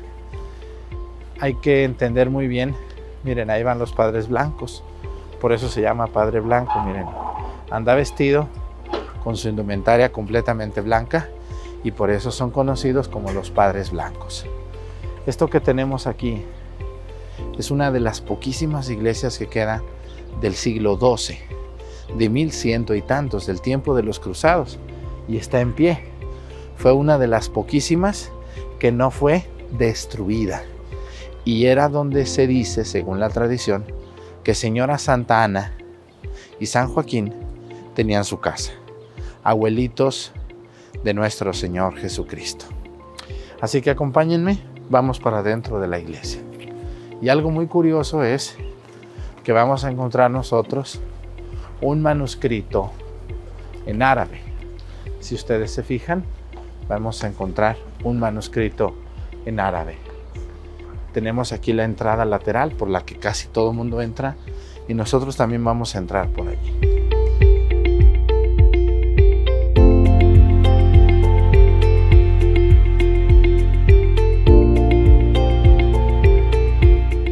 impresionante entrar a una iglesia medieval del siglo del siglo II, del siglo XII. Esto no es común en la Tierra Santa, es muy común en Europa, porque ya era una Europa cristiana, pero una, una, una iglesia en la Tierra Santa del siglo XII no es común. Nosotros estamos viendo ahí a María con Señora Santana y estamos viendo un altar. Miren, un altar allí donde está el Santo Sepulcro, el nacimiento de Jesús y la Anunciación. Tenemos tres escenas donde aparece la Virgen María, el nacimiento, la, el sepulcro y la Anunciación. María Santísima en el templo de Señora Santa Ana. Vean ustedes los muros, no se han caído, es una iglesia original, de las que no hay casi prácticamente. Vamos ahora a bajar a la grieta, a la gruta, perdón, ¿cuál grieta? A la gruta, vénganse, donde se encuentran las reliquias de la piedra donde estuvo la iglesia de Señora Santa Ana. Vénganse, por favor. No la iglesia, la iglesia es esta, la casa. Vénganse, vamos para acá. No sabemos, muchos dicen que en este lugar pudo haber nacido la Virgen María. Recordemos que el nacimiento de la Virgen María siempre ha sido un misterio y esto es muy importante saberlo y decirlo. No sabemos exactamente dónde nació la Virgen María. Ni la Biblia, ni nadie nos lo dice, aunque hay algunos escritos que hablan de que el nacimiento de la Virgen María pudo haber sido en tres lugares, en Jerusalén, y muy probablemente aquí. También pudo haber sido en Séforis y también en Nazaret. No sabemos dónde fue el nacimiento de la Virgen María, pero miren, aquí tenemos este, este mosaico que nos recuerda a Señora Santana con la Virgen María, con el niño Jesús también en las purificaciones, en las libaciones, y ahí tenemos a San Joaquín. Entonces estamos hablando de la historia de nuestro Señor Jesucristo y sus abuelos. Imagínense, ¿a poco no vendría Jesús aquí? Si era la casa de sus abuelos. Esto no era la casa, obviamente. Estamos hablando nosotros de las catacumbas, donde encontramos rocas, donde se cree que vivía Señora Santana y San Joaquín. Muy bien, pues vamos a continuar. Vamos a continuar.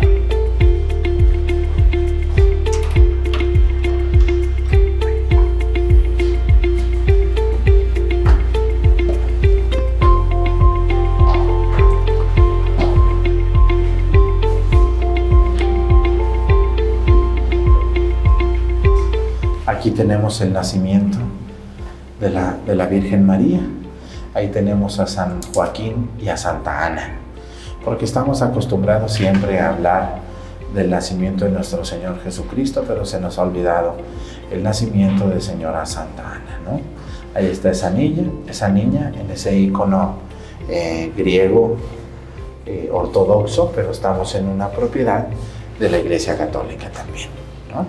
Aquí pues es muy hermoso poder venir a la gruta donde se cree que la Virgen María nació. Les vuelvo a decir, no tenemos la certeza, pero sí sabemos que nació aquí, en Séforis o en Nazaret. Acompáñenme, por favor.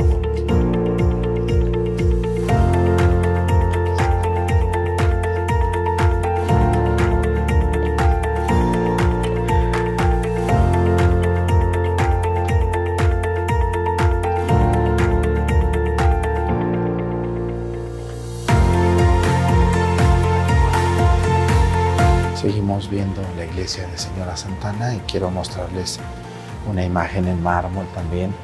Es una iglesia maravillosa, como las de Europa, pero del siglo XII, ¿no? En el siglo XII.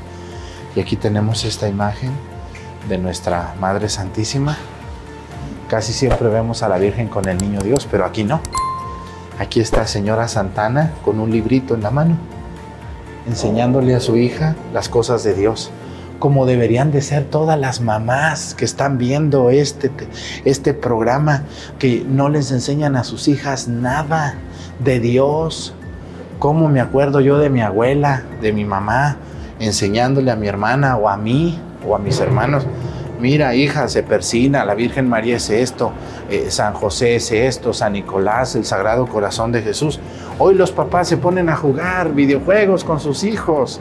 Hoy los papás enseñan a sus hijos a jugar fútbol y a nadar y a mil cursos de todo tipo y se han olvidado de las cosas de Dios, señoras. Ustedes que tienen hijos, a ustedes les toca la educación de su hija.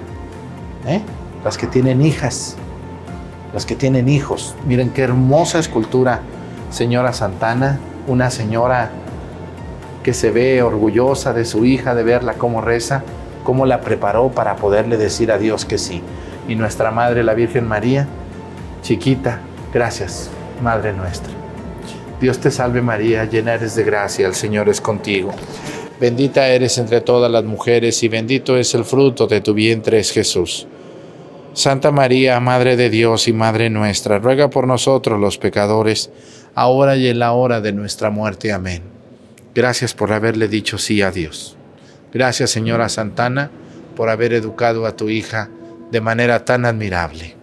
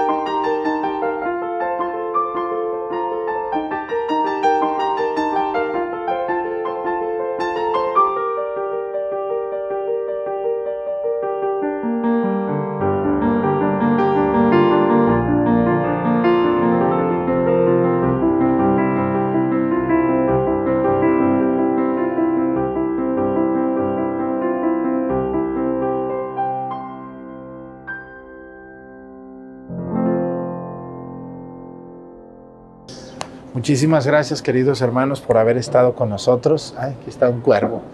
Desde la iglesia de Señora Santana, casa de los abuelitos Santana y San Joaquín, abuelitos de nuestro Señor Jesucristo, y lo que es la piscina de Betesda. Gracias, saludo a todos nuestros abuelitos.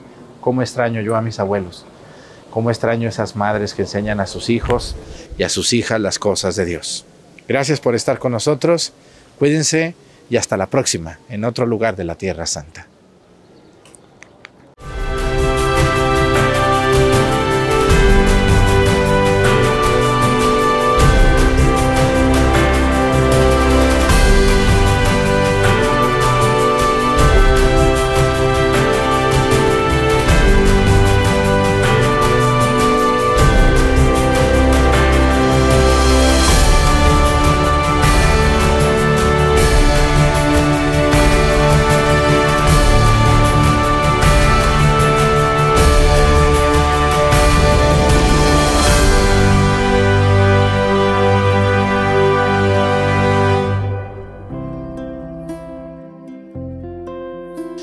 Bienvenidos queridos hermanos a esta lección número 15 en esta temporada 2 que estamos estudiando juntos sobre eh, el conjunto de libros que forman el Pentateuco.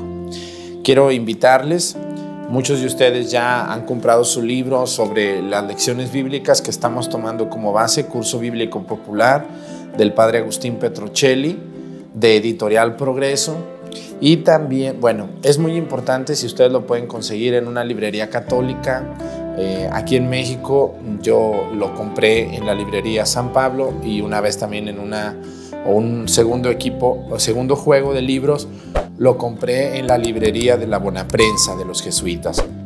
Así que lo pueden adquirir incluso por Mercado Libre o por, por Amazon, ahí también encuentran este libro. Entonces, ojalá que se animen a comprarlo. Este es el tomo número 2 número 2.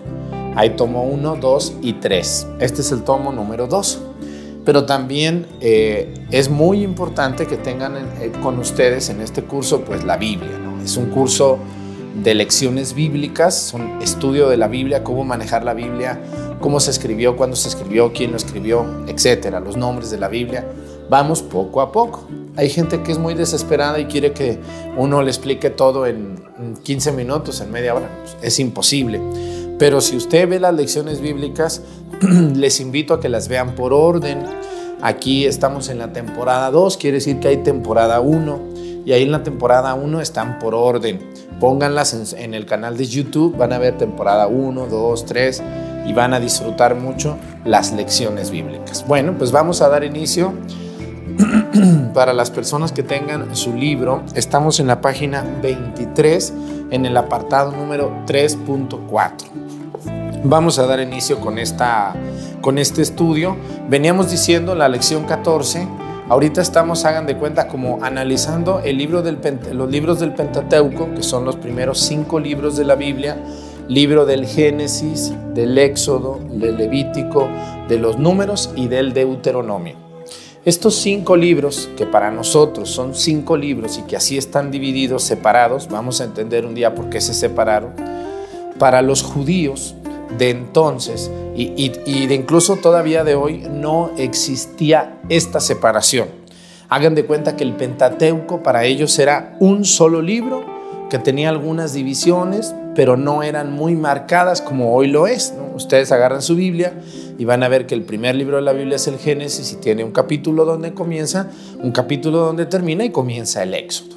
Pero no era así en los tiempos judíos. Y, ahorita nos vamos a trasladar al año 1000 antes de Cristo, mil años antes de Cristo, al año 900. Esta época es una de las épocas más florecientes del pueblo judío que difícilmente se ha vuelto a repetir y esta, esta, esta época es llamada la época de la monarquía. No sé si ustedes recuerdan la cita donde el pueblo de Israel le pide a Dios un rey. Israel quiere ser como los pueblos vecinos, que tienen un rey. Entonces Dios le dice, yo seré tu rey, pero bueno, es una historia muy hermosa que un día trataremos. A lo que quiero referirme es que Dios quiere tanto al pueblo que le concede un rey. El primer rey de Israel, Saúl, El segundo rey y el más querido por el pueblo y por, Dios, eh, David. El tercer rey, muy importante por construir el templo y por ordenar en muchos sentidos el pueblo, Salomón. Va a haber muchos más reyes, pero estos tres son los más importantes y los más sobresalientes en toda la historia de Israel. Saúl, David y Salomón. Y en este tiempo, vamos a analizar eso, los libros del Pentateuco ya empezaban a, completarse, a ordenarse. No van a decir, padre, pero ¿cómo me dice usted eso? Bueno, es tan interesante la historia y ver la mano de Dios en la escritura del libro de los libros del Pentateuco que ustedes y yo vemos un libro, un libro cualquiera, como este que tengo aquí, y pues uno lo ve y dice, bueno, pues tiene índice, tiene alfabeto, tiene, tiene orden alfabético, tiene capítulos, tiene subtítulos, tiene títulos, tiene, ah, no, pues muy bien, páginas, todo. Qué bonito el libro, ¿no? Pero, pero realmente el, el libro del Pentateuco, los libros, no fuera así. No había alguien que dijera, a ver, escribe el libro así, así, así. No. Los escribanos, lo primero que hicieron fue escribir como pedacitos, trocitos o, pasajes eh, concretos de la historia de Moisés y, y, de los 40 años que estuvieron en el desierto. Entonces, el libro del Pentateuco, hagan de cuenta que era como un rompecabezas incompleto. Un pedacito acá, otro pedacito acá, otro pedacito acá. Unos combinaban, otros no. Entonces, eh, hay que recordar que antes de la monarquía el pueblo de Israel era gobernado por jueces, por sacerdotes, pero era hasta cierto punto muy desordenado el, el pueblo. Entonces, si era desordenado en su gobierno, si era desordenado en sus costumbres, pues también era desordenado en su escritura. Eso va a ocasionar que, el que los libros del Pentateuco no los tengamos tan, tan ordenados en esta época como uno pensaría. Nosotros vemos la Biblia y la vemos tan ordenada, tan distribuida, pero no fue así. La Biblia ordenada que hoy tenemos es producto de miles de años de profundidad, de estudio, de reuniones, de juntas, de pláticas, de especialistas, de muchas cosas. Entonces es tan interesante estudiar eh, el, transcurso de la historia del libro, de los libros del Pentateuco y de toda la Biblia. ¿eh? Ahorita estamos solo en los libros del Pentateuco, no estamos hablando de los profetas, no estamos hablando de, de los libros históricos, de los libros poéticos, ya llegaremos en su momento. Vamos a ver qué nos dice el padre Agustín Petrocelli Estamos en, el, en la página número 23 del curso bíblico popular y dice así, en esta época se empiezan a pasar por escrito la historia y las leyes de manera más ordenada. Ahí está. Habíamos visto que en el tiempo de los jueces, bueno, pues había muchas, muchos pedacitos, sobre todo el libro del Deuteronomio, que es donde encontramos las partes más antiguas escritas de toda la Biblia pero de manera muy suelta, ¿no? como recaditos, como papelitos. Ahora en la monarquía, en estos 100 años, del año 1900, es cuando el libro del Pentateuco se empieza a, poner como más orden, más cuidado en esto. Dice, en esta época empiezan a pasar por, por escrito la historia y las leyes de manera más ordenada. Nace el documento Yavista, al que le ponemos como abreviación J, para que ustedes me entiendan, aunque comienza con la Y mayúscula, pero es se abrevia con la J para distinguirlo, ¿no? para no estar siempre escribiendo ya vista deuteronomista sacerdotal. Se le pone una letra. Entonces, aquí vamos a conocer la tradición ya vista con una J entre comillas. Dice, en el sur, Judea, bajo Salomón. Aquí es muy importante. Miren, el pueblo de Israel va a tener una división muy marcada en el reino del norte y en el reino del sur. En el reino del sur está principalmente la tribu de Judá, que es la única que va a prevalecer después del destierro y de las dominaciones que van a venir al pueblo de Israel en la caída de Asiria que ahorita vamos a ver. A lo que quiero llegar es a que el reino del sur, ahí está Jerusalén, ahí están varias ciudades muy importantes y el pueblo va a ser mucho más fiel en el sur que en el norte. En el, pueblo del norte siempre va a estar muy cercano a países, pero en reinos muy poderosos y entonces esto va a hacer que el, reino del norte se convierta como en un reino muy eh, que se prostituye con otra fe, que busca otras, otras alternativas que no es tan fiel a Dios. Salomón se establece en el sur y acuérdense que el reinado de Salomón es como la época de más tranquilidad de toda la época de los israelitas. Y dice que este documento, el Yavista, que es el más antiguo, se va a escribir en el sur. El material de este documento, como ya hemos dicho, lecciones anteriores lo pueden ver, se encuentra en el libro del Génesis, del Éxodo y de los Números. Ahí es donde encontramos esta tradición llamada Yavista. Dice, Después de un siglo, cerca del año 900 antes de Cristo, nace otro documento, así es. El primero que nace es el Yavista, en el reino del sur, en Judea. Y luego dice, cerca del año 900, ya casi terminando, nace otro documento, el Eloísta, pero en el norte de Israel. El material de este documento se encuentra en los mismos libros de Génesis, Éxodo y Números. Bueno, ¿Y cómo sé que es uno de otro, padre? Bueno, ya vimos las características de cada uno. De hecho, hay una lección de, hay una lección anterior, ojalá que la puedan ver. Hay una lección de, de la tradición eloísta, otra de la tradición yavista, otra de la tradición sacerdotal y otra de la tradición deuteronomista. Son las cuatro tradiciones que, se, que van a escribir los, los, cinco libros del libro del Pentateuco y las cuatro van a llegar a un solo que es llamado el Pentateuco. Pero hay diferentes estilos. Si ustedes se ponen a leer van a ver que a veces los estilos cambian, las maneras de, escribir también son distintas, entonces yo les invito que vean las lecciones anteriores, de lo contrario vamos a estar repitiendo y repitiendo y repitiendo lo mismo siempre. Aquí atrás están las lecciones para que vean cada una de las cuatro tradiciones tiene su propio estilo, tiene su propia época y tiene las nos dice exactamente quiénes más o menos escribieron estas tradiciones. Bueno, hagan de cuenta que los cuatro están revueltos ahí, pero, pero si se pone uno a analizar capítulo por capítulo, pues da con ellos. En este mismo tiempo se escribe el documento de Deuteronomista, ahí está.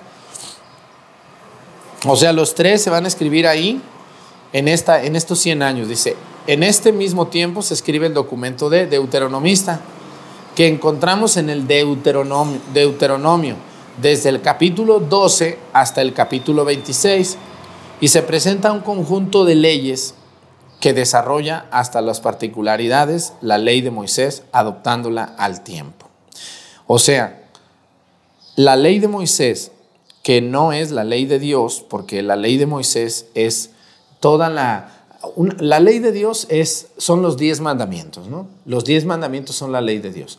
Pero Moisés, en estos tiempos, cuando vio que el pueblo era muy desordenado, entonces él mismo, con la autoridad que Dios le dio, escribió una ley que formaba más de 500 preceptos.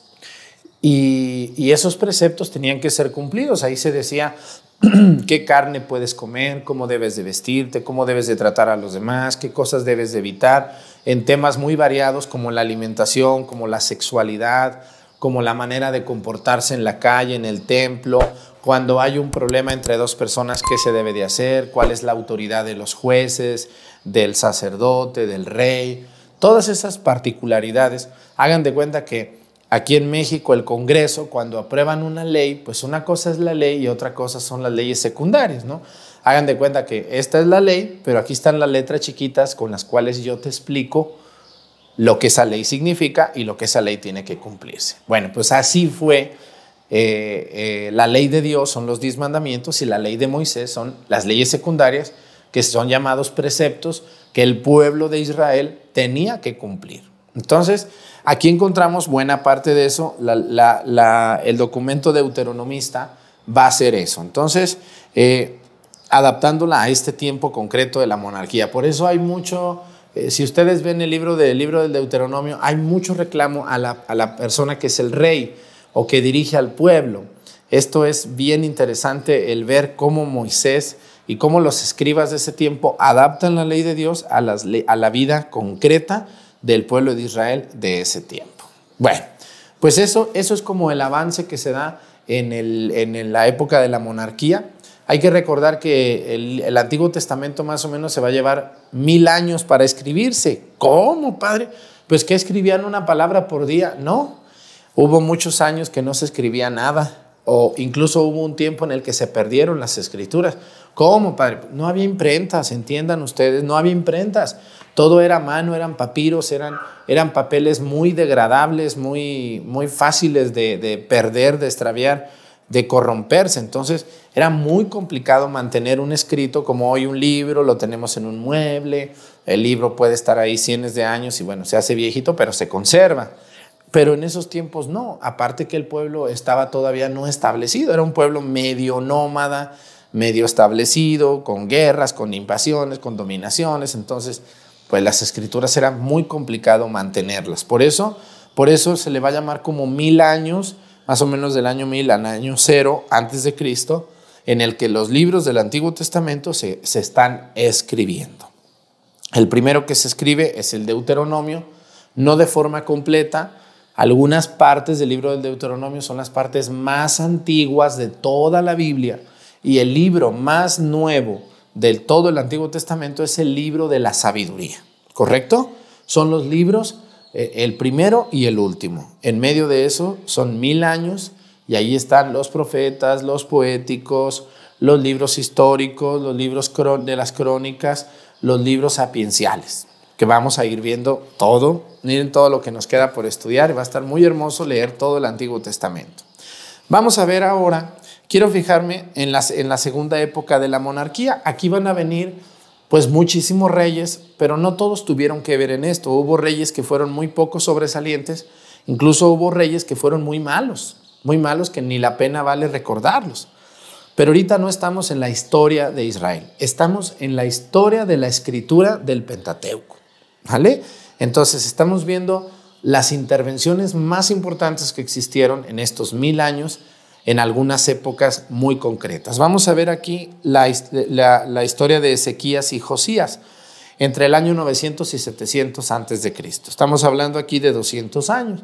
No quiere decir que los reyes duraron los 200 años, pero fueron los dos que después de Salomón más intervinieron en el desarrollo del orden de la escritura, de los complementos que se le van a hacer al, Pentateuco.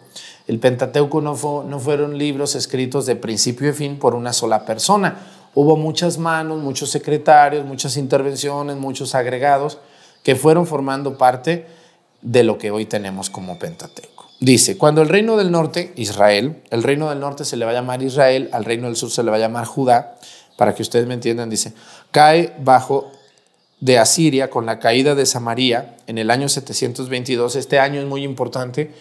El año 722 es un antes y después. Aquí se van a perder muchísimas, la mayoría de las tribus de Israel se van a dispersar, van a, mezclarse con otros pueblos y van a perder la esencia de ser del pueblo de Israel, dice. Los libros escritos en el norte bajan al sur en Judá y, adviene la fusión de los dos documentos. Así es, a ver, ¿en qué momento se unen la tradición yavista con la tradición eloísta en una sola versión? En este año, después del 722, viene la caída de Israel, de las tribus del norte, y acuérdense que Samaria, este, así, eh, ¿dónde está? El reino de Israel, la caída de Samaria, que es la capital del reino del norte, va a caer en manos de los asirios. Los asirios van a conquistar el reino del norte, van a destruir, van a invadir, van a colonizar todo ese reino del norte. Entonces, pero los libros que existían allá van a traerse. Aquí está los documentos de la tradición yavista y la eloísta. Una es del reino del sur, otra es del reino del norte. Y entonces, después del año 722, esos documentos van a bajar y van a, fusionarse, ¿no? Van a ser una un solo documento que vamos a llamar el libro del Pentateuco. No completo porque falta la tradición sacerdotal y falta la tradición deuteronomista. Pero ya tenemos dos. ¿En qué momento se da esa mezcla? No, no fue rápida, ¿no? Mucha gente diría, ay, qué bonito, ese año se pusieron de acuerdo y las juntaron. No, esto se va a llevar un proceso muy lento, muy lento, eh, muy cuidadoso, ¿no? Muy accidentado, más bien diría yo. Dice, mientras tanto, el documento del Deuteronomio viene enriquecido y es casi terminado. Ahí está. ¿Eh? El Deuteronomio es un libro bien importante. Nosotros diríamos que no, pero sí, el libro del Deuteronomio es como la base de todo el Pentateuco, no, no más importante que los demás porque cada libro tiene su importancia, pero los libros más importantes del Pentateuco para nosotros como cristianos podrían ser el Éxodo, el Génesis y sobre todo el Deuteronomio. Los números y el Levítico pues son muchas reglas, prescripciones, tradiciones muy judías, que a nosotros pues como no somos judíos no nos afecta tanto. Dice así, dice, Mientras tanto, el documento del Deuteronomio bien enriquecido y casi terminado. En el año 622 a.C., el rey Josías descubre el libro de la ley. Segunda de Reyes 22, 3, 20. Vamos a leerla, ¿qué les parece? Es un libro histórico, en el libro de la, Segunda de Reyes 22. Vamos a nuestra Biblia y vamos a buscar esa cita. Um, segunda de Reyes 20. 22, 320. Segunda de Reyes 22, 320. Dice así. Es muy bonito, vamos a leer juntos. Segunda de 22, Segunda de Reyes, capítulo 22, versículos 3 y siguientes. Dice, en el año décimo octavo del rey Josías, el rey mandó a la casa de Yahvé al secretario Safán, hijo de Asalías, hijo de Masulam, le dijo, anda a ver al sumo sacerdote Elquías, que cuente exactamente el dinero que ha sido depositado en la casa de Yahvé y que los guardias de la puerta han recibido del pueblo. Que se lo pase a los que dirigen los trabajos, a los que tienen en su cargo la casa de Yahvé. Estos a su vez se le darán a los obreros que ejecutan las obras de la casa de Yahvé y que hacen las reparaciones de la casa, a los carpinteros, a los obreros de la construcción y a los albañiles y con él se comprará también la madera y las piedras talladas para reparar la casa. Pero no se les pida cuentas del dinero que se les entregue porque son gente honrada. El sumo sacerdote Elquías dijo entonces al secretario Safán, en la casa de Yahvé encontré el libro de la ley. Después se lo pasó a Safán, quien lo leyó. El secretario Safán fue luego a ver al rey y le entregó un informe diciéndole, tus servicios reunieron el dinero que estaba en la casa y se lo entregaron a los obreros encargados de la casa de Yahvé. Enseguida el secretario Safán comunicó la noticia al rey. El sacerdote Elquías le dijo, me pasó un libro y Safán lo leyó en presencia del rey. Cuando el rey oyó las palabras del libro, se rasgó su ropa.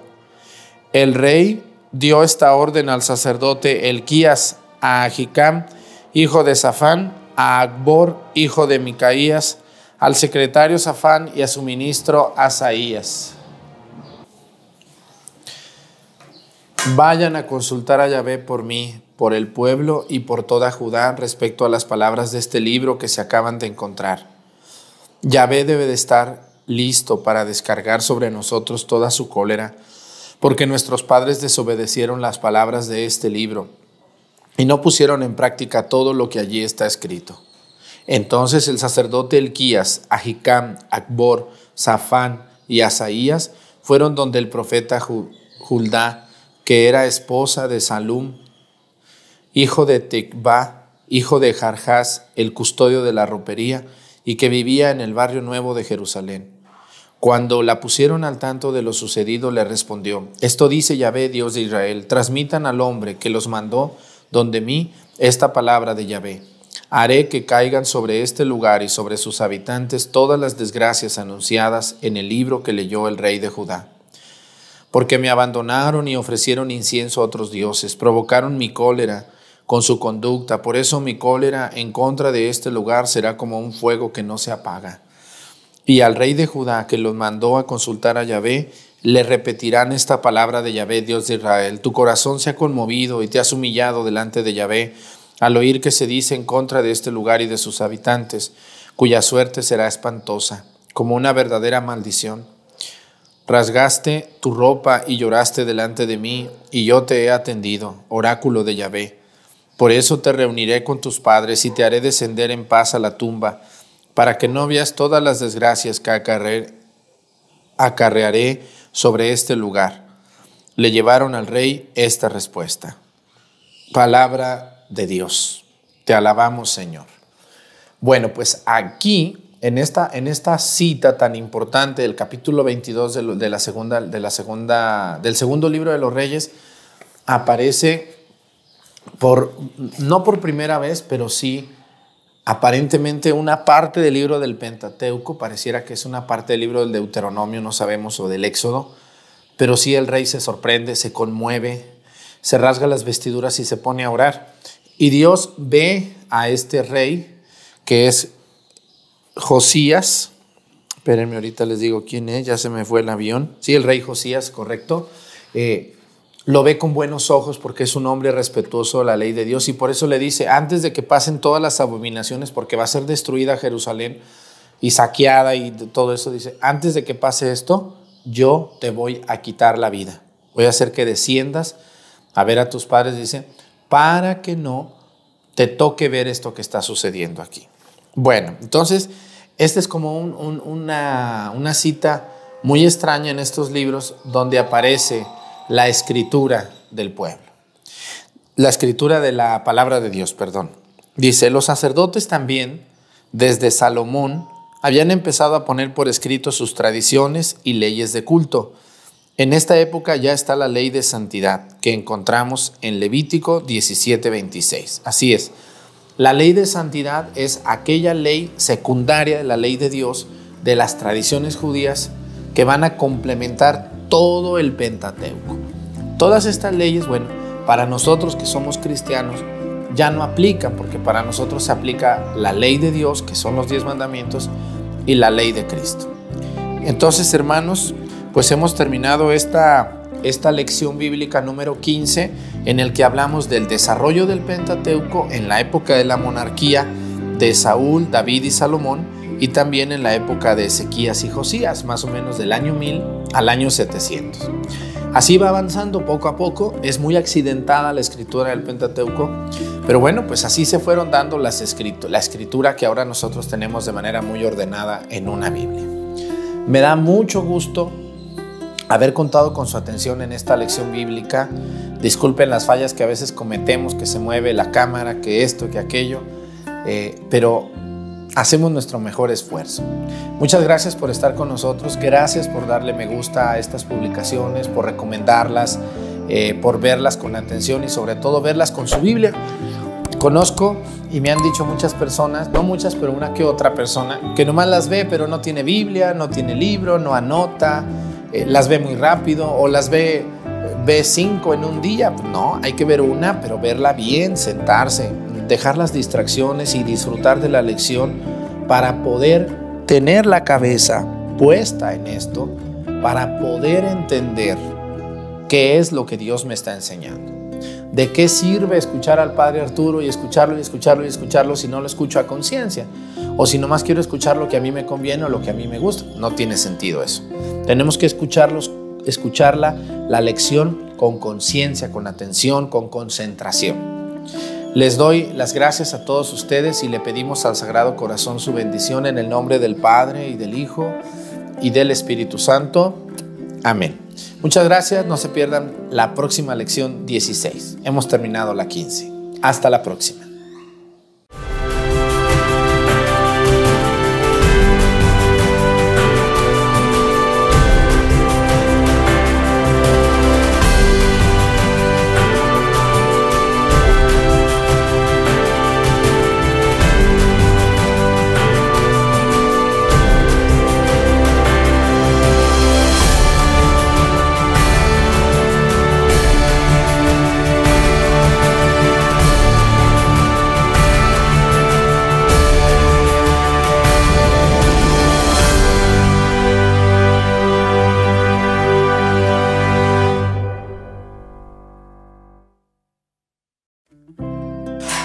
Bienvenidos queridos hermanos a esta lección número 16. Estamos avanzando mucho en las lecciones. Claro que nos falta muchísimo todavía por, por recorrer.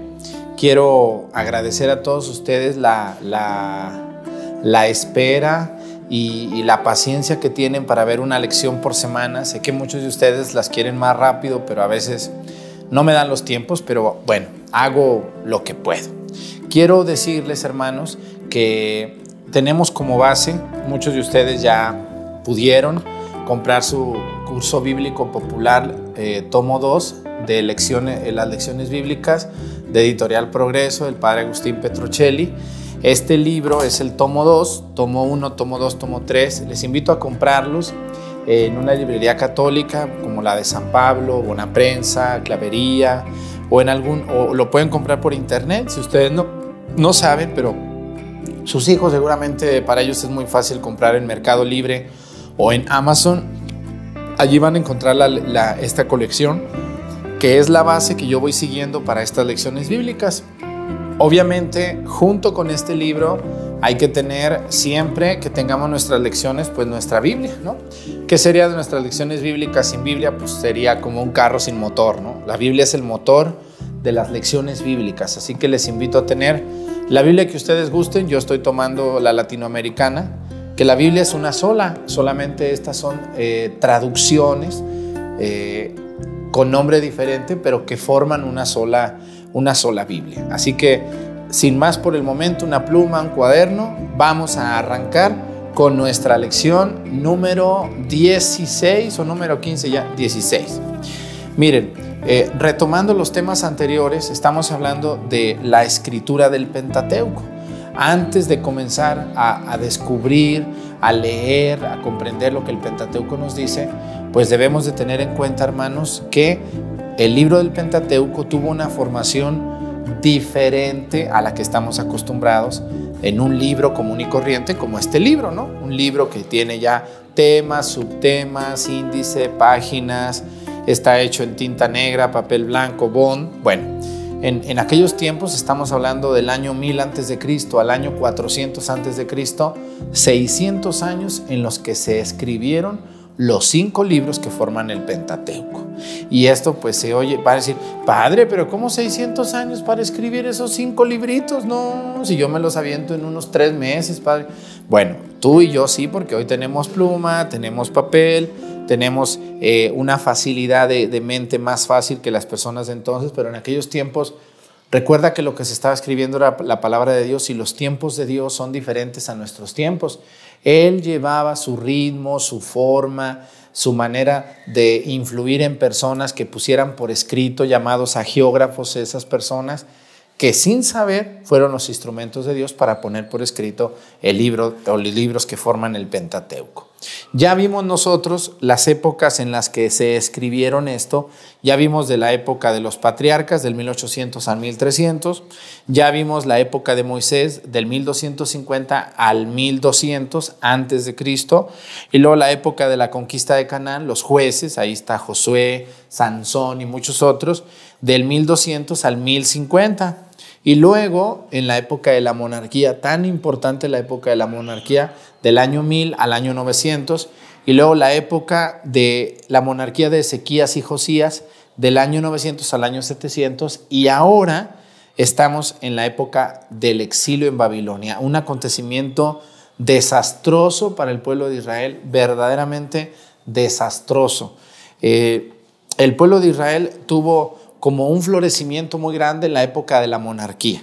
Podríamos decir que los años de mayor tranquilidad y de mayor facilidad para el pueblo judío fue el año del año 1000 al año 900, cuando reinaron en Israel los tres grandes reyes, Salomón, Saúl y David, sobre todo el rey David. Estos tres reyes van a formar como la parte más, más importante y más tranquila, de mayor riqueza, de mayor paz de todos los tiempos del pueblo de Israel. Sin embargo, ustedes saben que todo lo que sube tiene que bajar y luego vuelve a subir y luego vuelve a bajar. Y así es la ley de la vida, ¿no? El pueblo de Israel comenzó, acuérdense, cuando Dios escoge a Abraham, lo llama, lo hace salir de su tierra de Ur, de los caldeos, le promete la tierra, va a la tierra, no se la dan, si se la dan, empieza a crecer, tiene a su hijo, Dios se le pide que lo sacrifique Dios se arrepiente, no lo sacrifica, luego este, viene la descendencia de ese hijo de Abraham, luego viene los hijos de, de, Jacob, que son nietos de Isaac, y, bisnietos de, Abraham, y luego pues ahí va subiendo poco a poquito esa línea, pero luego los esclavizan en Egipto y ¡pum! se van para abajo, luego viene Moisés, saca al pueblo, va creciendo, muchas, muchas dificultades, llegan, se establecen dificultades, llegan los reinados y crece el pueblo Israel, pero luego viene para abajo. Y, pareciera que la parte más desgarradora del pueblo es, primero, esto que va a suceder, que es la dominación asiria que destruye los reinos, el reino del norte, las tribus que están en el norte de, Israel, de lo que hoy es Israel. Pero luego viene el exilio a Babilonia. Aquí viene como el acabós, como donde termina buena parte de lo que el pueblo estaba viviendo y estaba alegremente viviendo. Y, vamos a llamar a esta parte eh, como las, las últimas o los últimos confeccionamientos que se le van a dar al libro del Pentateuco. El libro del Pentateuco es, eh, los libros, cinco libros, es todo un proceso lento durante 600 años que se van determinando, aunque algunos pedacitos del Pentateuco datan del 1400, del 1500 antes de Cristo. Algunos pedacitos, sobre todo el Deuteronomio del libro del Éxodo. Pero ya empieza a tomar mucha forma en, en, la tiempo de la monarquía del 1000 a 1900 y, más forma todavía en el tiempo de Ezequías y de, y de, y de Josías. Y luego en el reinado del norte, cuando viene la destrucción, pues se estanca otra vez esos documentos. Y ahora que viene el exilio a Babilonia, se estanca más. Pero como que aquí es cuando definitivamente termina la escritura, como hoy la tenemos, de lo que es el libro del Pentateuco. ¿Correcto? Vamos a ver lo del exilio de Babilonia, a Babilonia. No voy a entrar mucho en la historia porque no es tema de historia de, la salvación, es tema de, la composición del Deuteronomio, solo que pues, obviamente cualquier persona que estudie la Biblia tiene que entender que no solamente es leer la Biblia o leer versículos y capítulos, sino que hay que entender la historia en la que se dio. Y esto es lo que mis hermanos separados a veces no quieren. Ellos quieren nomás la Biblia, pura Biblia, pura Biblia. No, hay que entender el contexto en el que la Biblia se va escribiendo. Dice, segunda época de la exilio de Babilonia, en el 587 al 538 antes de Cristo. Esta fecha, el 587 es la caída del reino del sur, como la, la del reino del norte, bueno, es... Eh, ah, ahorita me acuerdo, se me fue el avión. No, en el 622 es cuando descubren el libro de la ley que encuentra el rey Josías. Dice, durante el exilio, la tradición sacerdotal, eso es el libro de Levítico y otras páginas que van a completar Génesis, Éxodo y Números, reciben los últimos retoques. También el Deuteronomio es enriquecido con añadiduras y correcciones. Así es. El exilio es un momento bien difícil. Ustedes han de haber leído al libro del profeta Daniel, cómo Daniel es llevado al exilio y estando allá, cómo clama y cómo ahí está parte también de las lamentaciones, libro de las lamentaciones, cómo esas personas que están lejos de Jerusalén, lejos de Israel, se acuerdan de su tierra, como todos ustedes y yo, que no vivimos quizá donde nacimos y que extrañamos y recordamos a nuestra tierra con, con nostalgia. Así también los judíos que estaban en lo que, en lo que era Babilonia, que hoy es parte de Irak, parte de Irán y parte de Siria, pues ellos también extrañaban su tierra. No, cuando ustedes vayan a Tierra Santa, espero que me acompañen un día, se van a dar cuenta que no es una tierra muy hermosa, no es una tierra muy productiva, no es una tierra muy con mucho bosque, con mucha selva, no, no lo es, pero qué bonito es estar ahí porque recordamos dónde anduvo Jesús y dónde caminó y dónde predicó todo lo que sabemos. Imagínense si nosotros nos emocionamos sin haber nacido en Israel, Ahora imagínense los judíos que ahí nacieron y que estaban exiliados en una tierra de paganos como era Babilonia. Era un sufrimiento tremendo estar exiliado. Y yo creo que muchas personas que viven en un país por necesidad de trabajar, por mejorar, sufren al no poder regresar a su tierra con facilidad, sufren, se sienten tristes y añoran estar en su tierra. Entonces, durante el exilio, la tradición sacerdotal o sea, el libro de Levítico. Acuérdense que la última tradición de las cuatro, acuérdense que existe tradición eloísta, yavista, deuteronomista y sacerdotal. La última es la sacerdotal, es la que le da los últimos retoques al libro, a los libros del Pentateuco, los completa, les quita, les agrega, porque la tradición sacerdotal es la última que le da como los últimos retoques a lo que es los libros del Pentateuco. Así que eh, es bien importante que ustedes tengan claro estas cuatro tradiciones. El libro del Pentateuco no es un solo autor, ni es dos o tres personas que lo escriben. Claro que, según la tradición, el libro del los libros del Pentateuco comenzaron a ser escritos a través, a partir de Moisés. Pero junto con Moisés había otras personas que colaboraron con él y después muchas más que van a perfeccionar, van a completar, van a hacer las leyes secundarias. Así que, Padre, yo no entiendo eso de las tradiciones, las cuatro tradiciones. Bueno, vaya para atrás a mis lecciones, ahí está.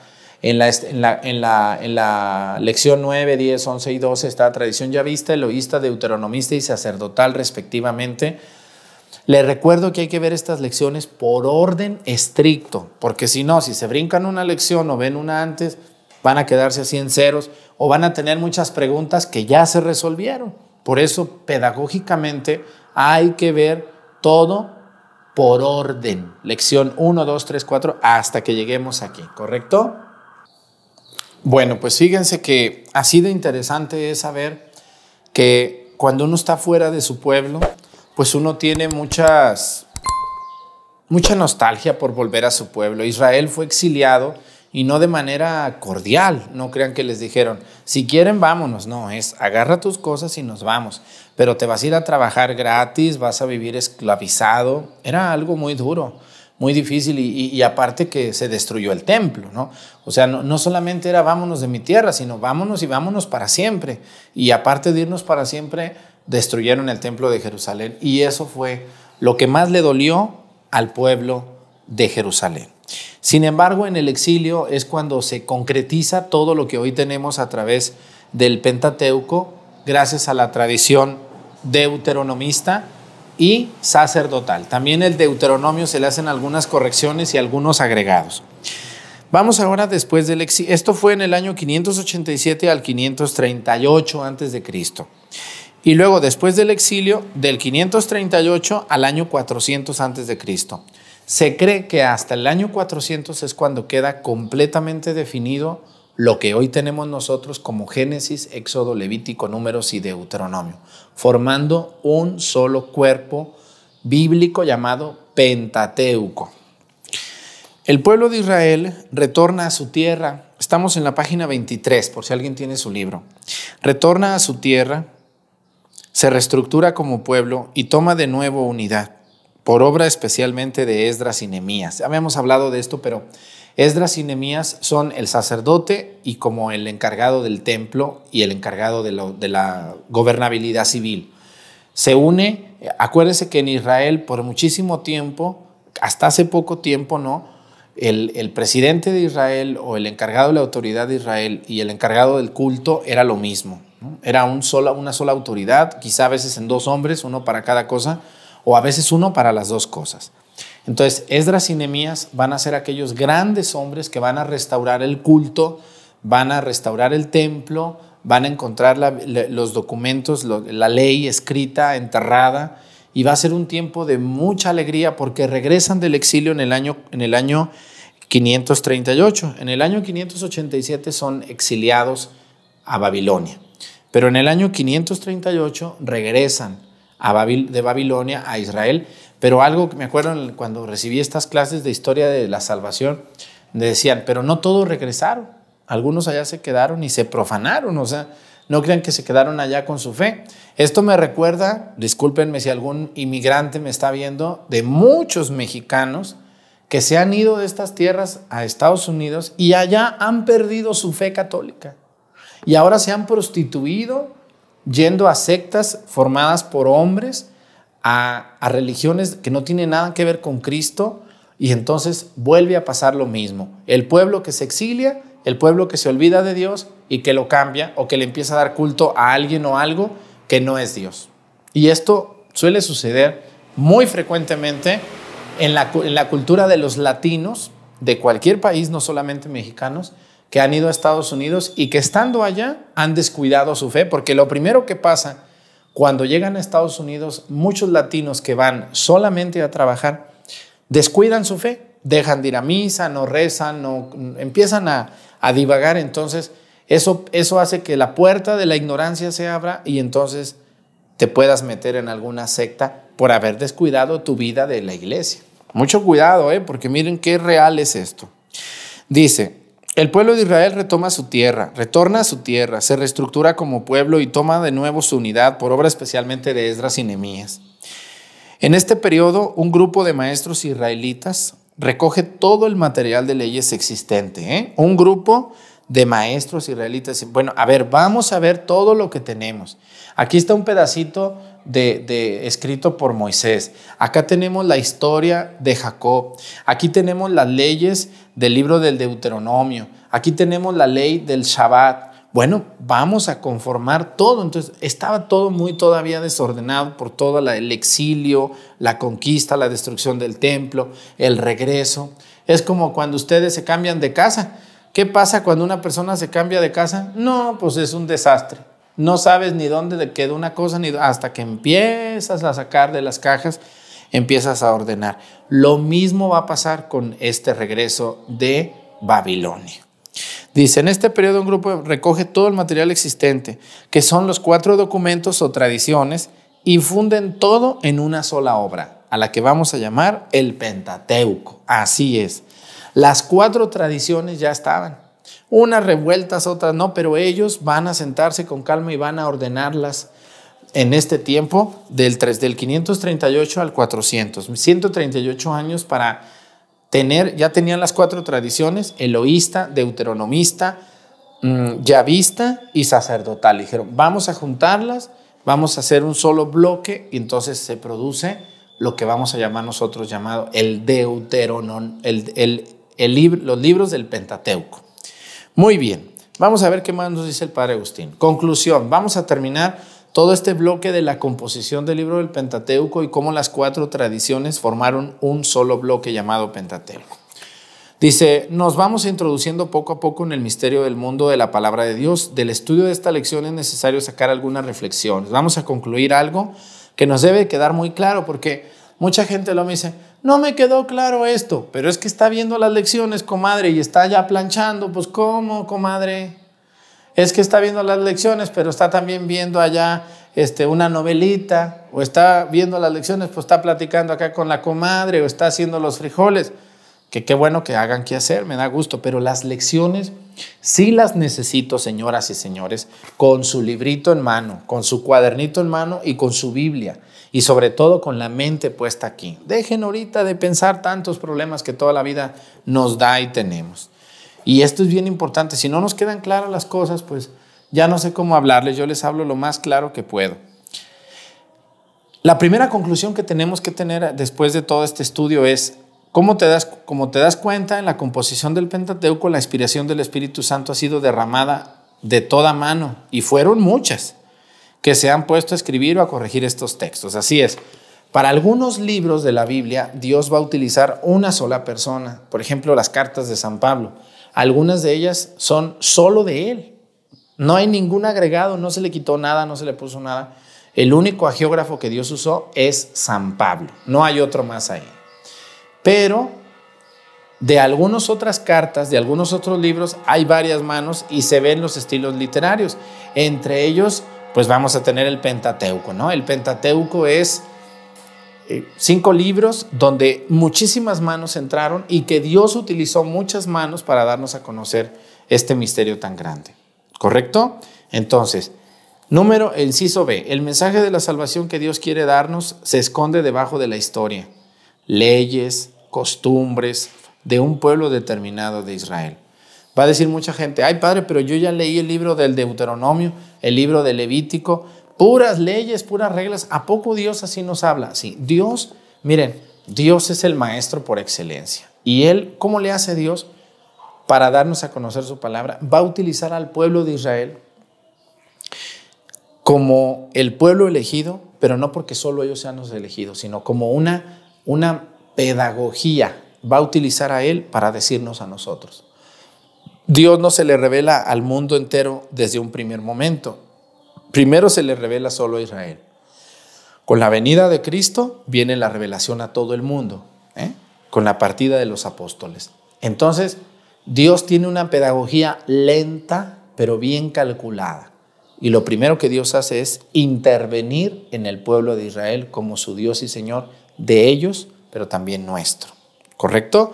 Entonces Dios utiliza la vida concreta de un pueblito tan chiquito, despreciado, humillado, con todos los problemas del mundo habidos y por haber, los va a utilizar para darnos a conocer a nosotros las verdades de la fe.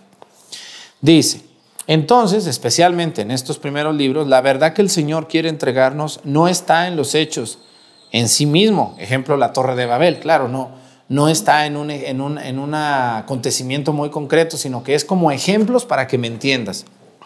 Sino que el mensaje, en el mensaje o en la enseñanza que el escritor sagrado quiere darnos a través de este acontecimiento particular. Todas las cosas que le pasan a un pueblo de Israel al pueblo de Israel o a los ciudadanos, no es que eso sea palabra de Dios, no es el, acontecimiento. Por ejemplo, si ustedes se ponen a ver en el libro de las crónicas, van a ver peleas y guerras y que les dieron en la torre y que los mataron. Van a decir, pero ¿cómo eso va a ser palabra de Dios andar matando al prójimo? No, no es eso la palabra de Dios, sino que es una acción de un pueblo, buena o mala, lo que sea, a través de la cual Dios manifiesta su poder. El pueblo de Israel no cayó porque Dios estaba con ellos, porque Dios los protegió. ¿Me entienden? O sea, Dios utiliza los acontecimientos malos o buenos de un pueblo para darle a conocer su grandeza. Dice, en resumen, descubrimos que la Biblia, que en la Biblia no hay que leerla como un libro de historia, sino como un libro de fe y de salvación. O sea, quien busque datos históricos en la Biblia puede encontrarlos, claro, hay muchísimos datos históricos en la Biblia comprobables, pero la Biblia no es un libro de historia. ¿eh? La Biblia no se escribió como libro de historia, la Biblia es el libro de la salvación de los hombres, es el libro que le da esperanza a lo que somos, a lo que tenemos, a lo que poseemos, a lo que anhelamos. Quien busque en la Biblia solo historia está hueco, no va a poder entender para qué vino a este mundo. La Biblia y el libro, los libros del Pentateuco que vamos a ir estudiando próximamente nos hablan de la mano de Dios metida en este mundo con la única finalidad que es salvarnos. Hermanos, pues me dio mucho gusto haber estado con ustedes en esta lección bíblica número 16. Espero que las vean por orden, regresense si no las han visto, no las vean brincadas, porque si las brincan no van a comprender, van a tener muchas dificultades, muchos contratiempos y muchos problemas. Así que yo les quiero invitar, hermanos, de todo corazón, a que vayan a la 1 y sobre todo empiecen con las lecciones de la temporada 1. Les agradezco mucho si le dan like a, esta, a, esta, a estos videos porque de esta manera YouTube los recomienda a personas que quizá como usted señora, como usted señor, andan buscando cosas de Dios en el YouTube, que hay tantas, pero que hay pocos sacerdotes que estamos aquí trabajando fuertemente en las lecciones bíblicas o en la enseñanza de la doctrina de la Iglesia Católica. Les agradezco mucho a mis suscriptores. Ya casi llegamos al millón de suscriptores. Me da muchísimo gusto saber que cuento con ustedes para seguir evangelizando con mis deficiencias, con mi a veces mi necedad a veces repetir mucho, pero prefiero repetir para que quede bien afianzado esto. Que el Señor Todopoderoso y el Sagrado Corazón de Jesús nos bendiga en el nombre del Padre y del Hijo y del Espíritu Santo. Amén. Excelente día. Muchísimas gracias.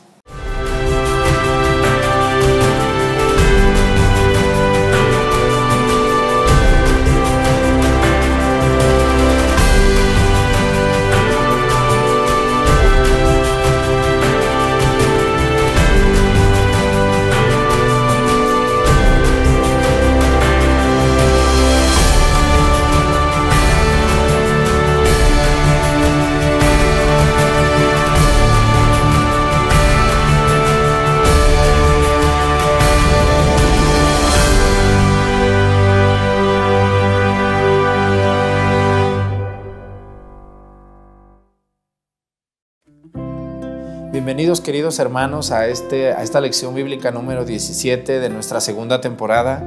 Hoy vamos a dar inicio a algo bien interesante que es la introducción al libro del Génesis. Es muy importante que antes de que se lea un libro de la Biblia podamos tener una introducción general de lo que ese libro nos dice, dónde se escribió, quién lo escribió, por qué lo escribió, eh, los contenidos, las divisiones que existen en ese libro. Y uno de los libros más llamativos de toda la Biblia, no el más importante, pero sí el, uno de los más llamativos, es el libro del Génesis. Así que les invito a todos ustedes, les recuerdo lo que siempre les digo, hay gente que me dice que soy muy repetitivo en mis introducciones, pero bueno señora, discúlpeme, pero así como usted eh, ya tiene tiempo viendo las lecciones, hay personas que esta es la primera vez que ven una lección, entonces si no les digo, pues ellos también van a sufrirle y así es como se va formando a las personas. Miren, este, aquí tengo el libro base que estoy tomando yo como, como base para este, este curso o estas lecciones bíblicas, que es Curso Bíblico Popular de Editorial Progreso del padre Agustín Petrocelli como autor. Eh, ojalá que lo puedan adquirir. Este es el tomo número 2, porque hay tomo 1 y 3. Son tres libros diferentes. Y bueno, las lecciones bíblicas número 1 son las del tomo 1. Estas son las lecciones bíblicas de la, de la, lecciones número 2 o temporada 2 del tomo número 2. Así que hermanos, les invito a adquirirlo en una, en una librería como San Pablo, como Bonaprensa, como Clavería, o lo pueden comprar en Mercado Libre o en Amazon también. ¿no? Es muy fácil adquirirlo vía internet y les va a llegar hasta la puerta de su casa. Yo no los vendo, porque luego me dicen, mándeme a mí. No, es que yo no los vendo, doña, yo no soy este, ¿cómo se llama? soy editorial, pues vaya usted a la librería de su ciudad y ahí lo va a encontrar. No puedo ayudarles en eso porque pues, yo no vendo libros. Y también eh, la Biblia, ¿eh? no se les olvide que estas lecciones bíblicas pues, sin Biblia pues es como quitarle el motor al carro, no va a caminar. Entonces estos dos libros, si los pueden adquirir o tener, eh, pues sería mucho mejor para poder comprender esto. Bueno, vamos a dar inicio a la lección quiero decirles que debemos estar atentos a las lecciones bíblicas, porque hay gente que nomás las ve, pero nomás las ve y pues no, no tiene su cuaderno, no se emociona, no le pone ganas a la lección bíblica, entonces por eso no le queda claro y después tiene muchas dudas, porque yo trato de resolver todas las dudas que pueda haber, pero a veces la gente pregunta porque no pone atención o está viendo las lecciones bíblicas, pero también está ya moviéndole la cola al perro o está este, cocinando. No, para las lecciones bíblicas hay que estar al 100. Aquí, póngase señora, siéntese señor y ponga atención. Y vamos a disfrutar de esta lección bíblica buenísima. Eh, estamos en la página 25, quien tenga su libro, estamos en la página 25 de, esta, de, este, de este tomo número 2. Y bueno, vamos a hablar que que lo primero que tenemos que tener, vamos a hablar hoy de los del capítulo 1 al capítulo 11 del libro del Génesis. Yo les voy a recomendar que por favor ustedes tomen su Biblia y los lean, ya sea antes de esta lección o después de esta lección. Ojalá esta va a ser la tarea de esta lección, porque a veces la gente nomás quiere que les demos clases, pero no quieren hacer tareas. La tarea es leer el capítulo número 1 al capítulo número 11 del libro del Génesis. Si ustedes eh, me escuchan con atención y luego leen estos capítulos, los van a disfrutar, los van a entender y van a comprender mejor lo que ahí se dice. Vamos a ver el padre Agustín Petrocelli lo que dice sobre este libro del Génesis. Dice, Génesis quiere decir inicio, origen, y se llama así porque se trata de los orígenes del mundo, del hombre y del pueblo de Israel. Así es, Génesis quiere decir el origen, el inicio, el principio. ¿Por qué se le puso este nombre a este libro así? Bueno, por obvias razones. El libro del Génesis eh, es el libro de los orígenes del mundo, la creación del mundo, la creación del hombre por parte de Dios y el nacimiento del pueblo de Israel. Así, si te dicen, ¿de qué trata el libro del Génesis? De esas tres cosas. Creación del mundo, creación del hombre y nacimiento del pueblo de Israel como el pueblo que Dios va a elegir para darnos a conocer a todos nosotros la belleza de su creación y el amor por la humanidad.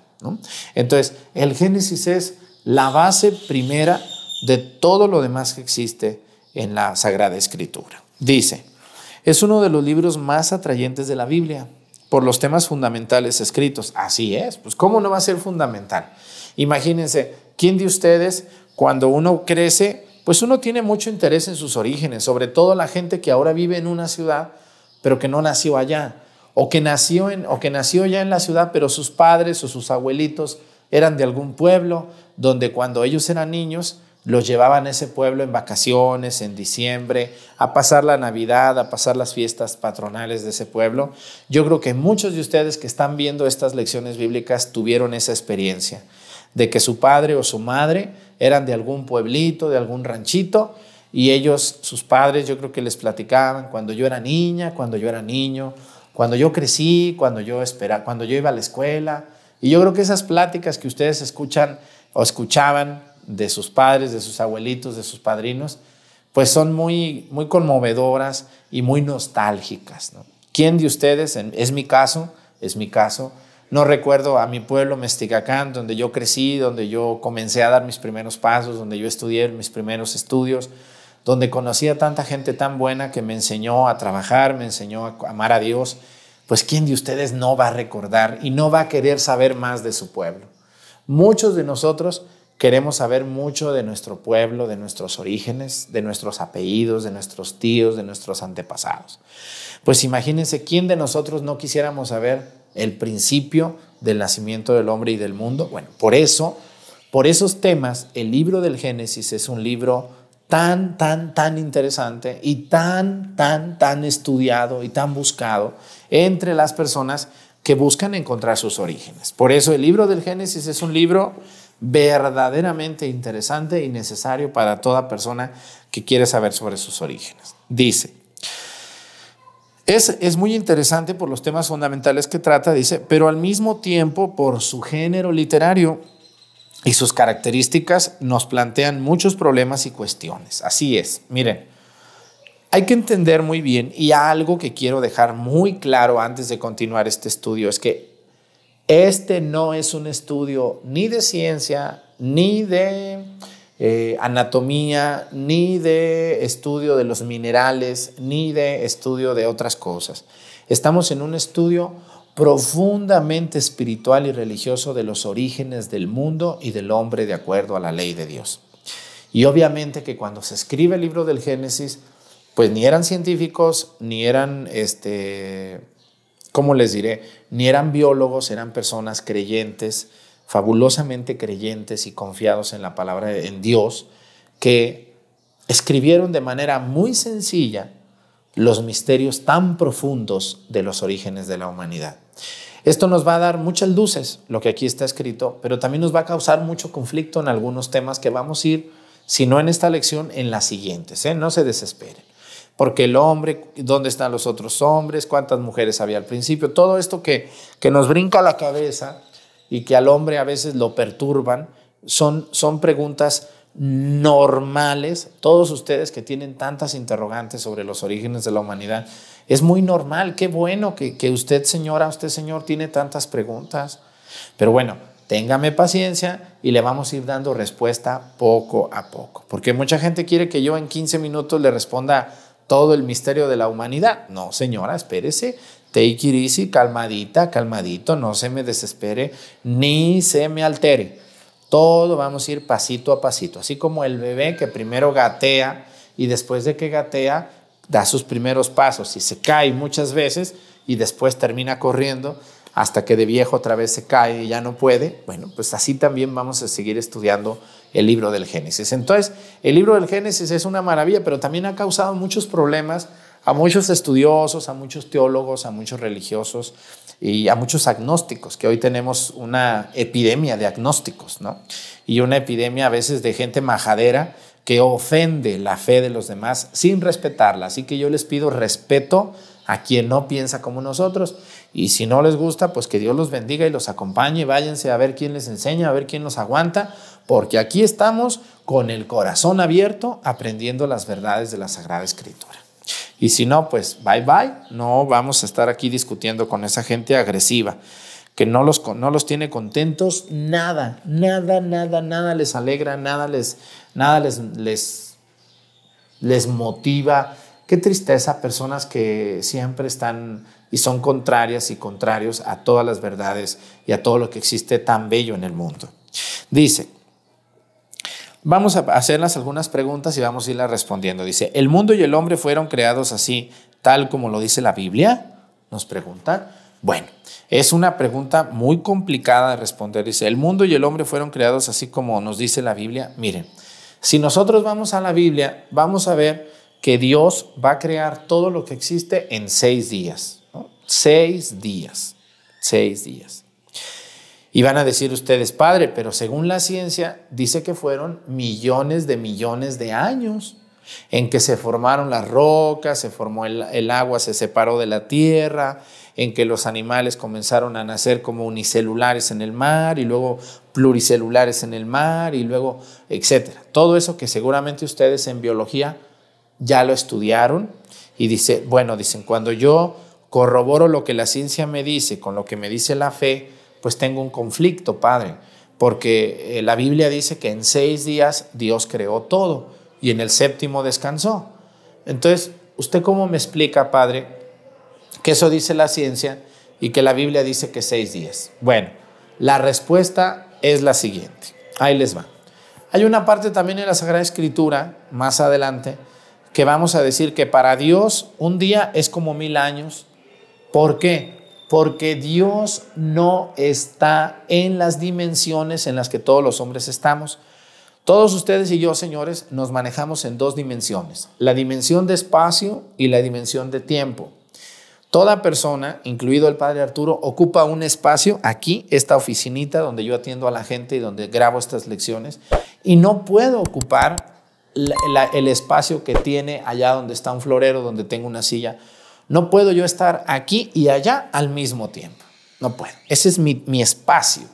Este lugar concreto donde yo me desenvuelvo, donde yo vivo, donde yo camino, donde yo corro, donde yo me duermo, es el espacio concreto que yo ocupo en este lugar y también el tiempo.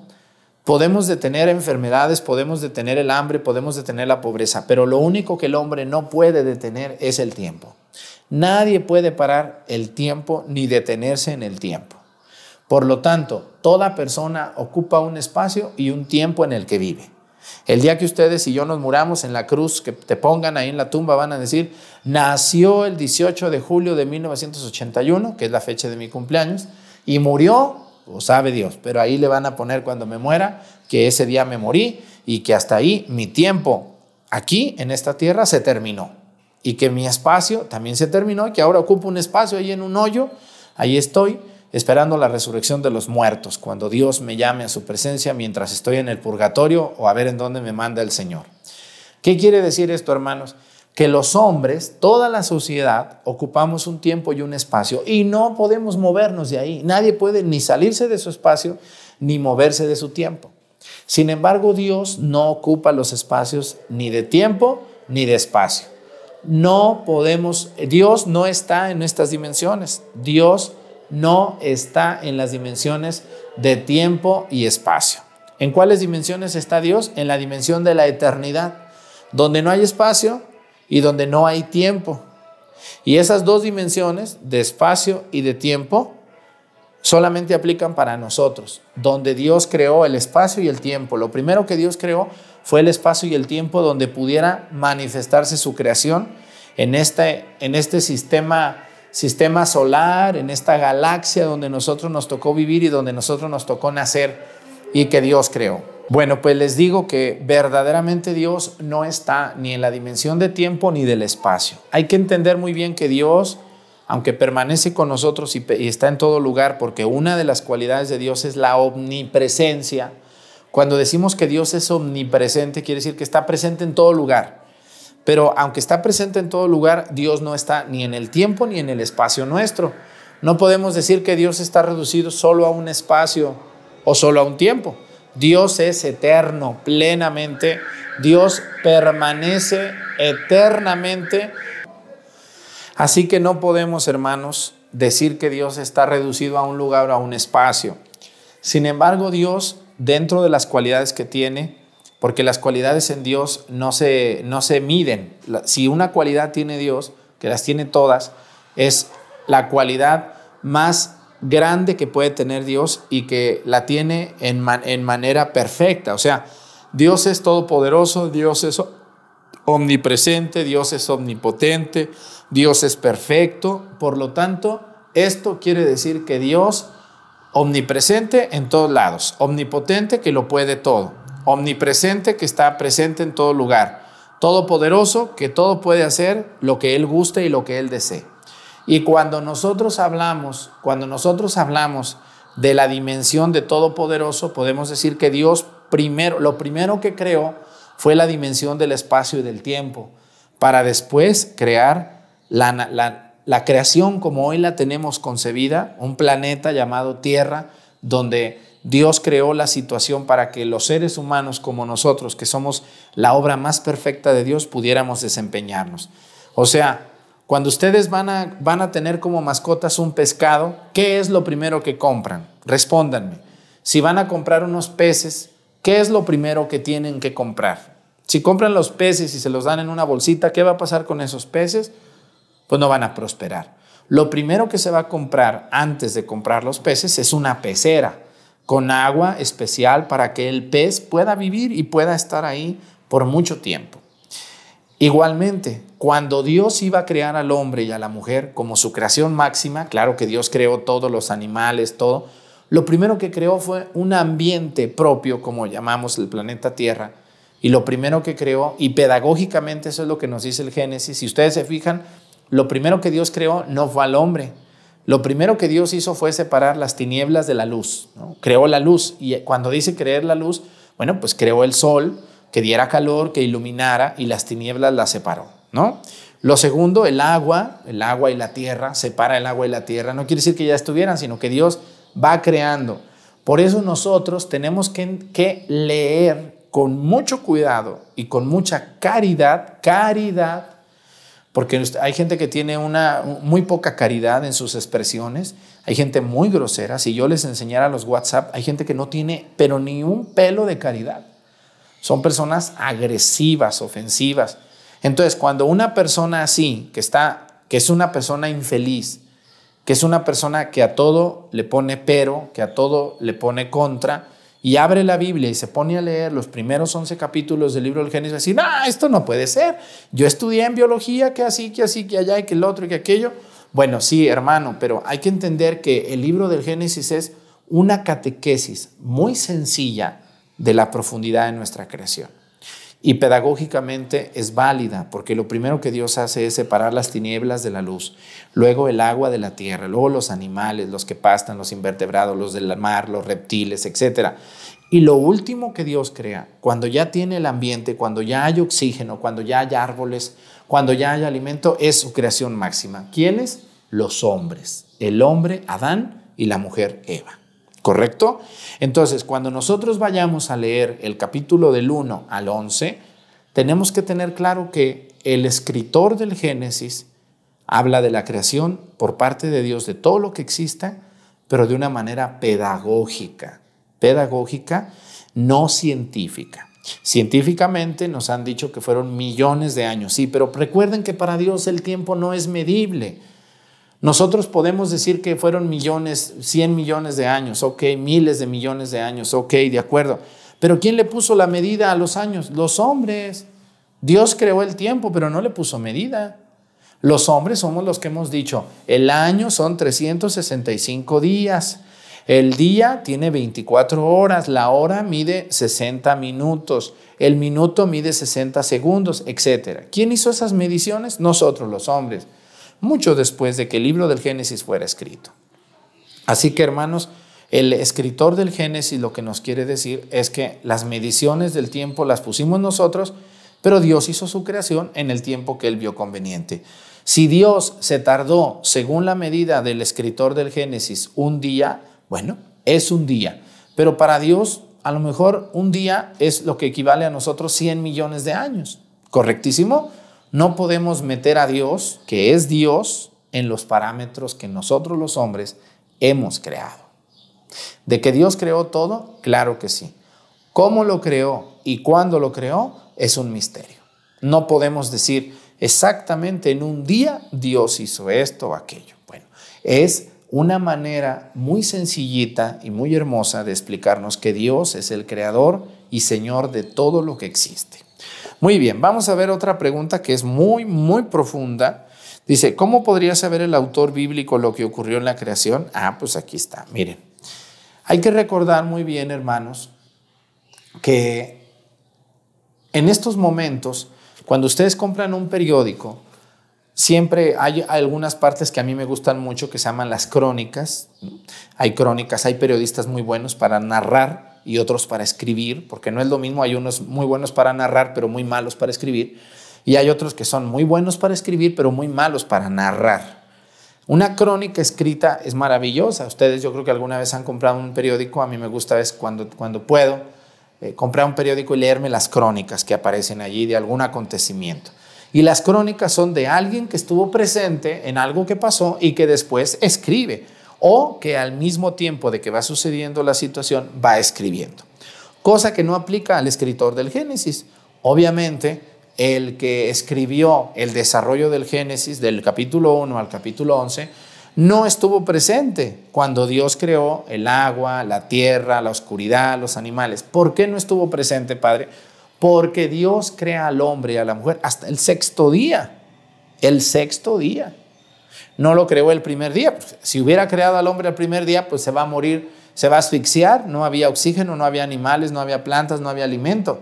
¿Me entienden? Entonces, si ustedes me preguntan, ¿y, por, qué, por qué el escritor del Génesis escribe si no estaba presente? Bueno, hay muchas cosas que uno puede escribir y que no necesita estar uno presente. Hay que recordar que nuestros primeros padres, Adán y Eva, los primeros que recibieron de Dios recibieron la sabiduría perfecta y Dios les transmitió todo lo que sucedió. Y ellos mismos, al hacer una revisión de que era el primer hombre y de que era la primera mujer de toda la humanidad, quisieron interrogarse a sí mismos, decir, bueno, yo estoy aquí, pero para que yo estuviera, tuvieron que haber primero árboles, tuvieron que haber primero oxígeno, tuvo que haber primero animales antes que yo. De esta manera el escritor del Génesis va a hacer una retrospección, o sea, para atrás, para ver cómo se fueron dando las cosas y entonces se va poniendo por escrito. De manera tan sencilla, porque de verdad que es admirable el que escribió el Génesis, cómo lo fue escribiendo.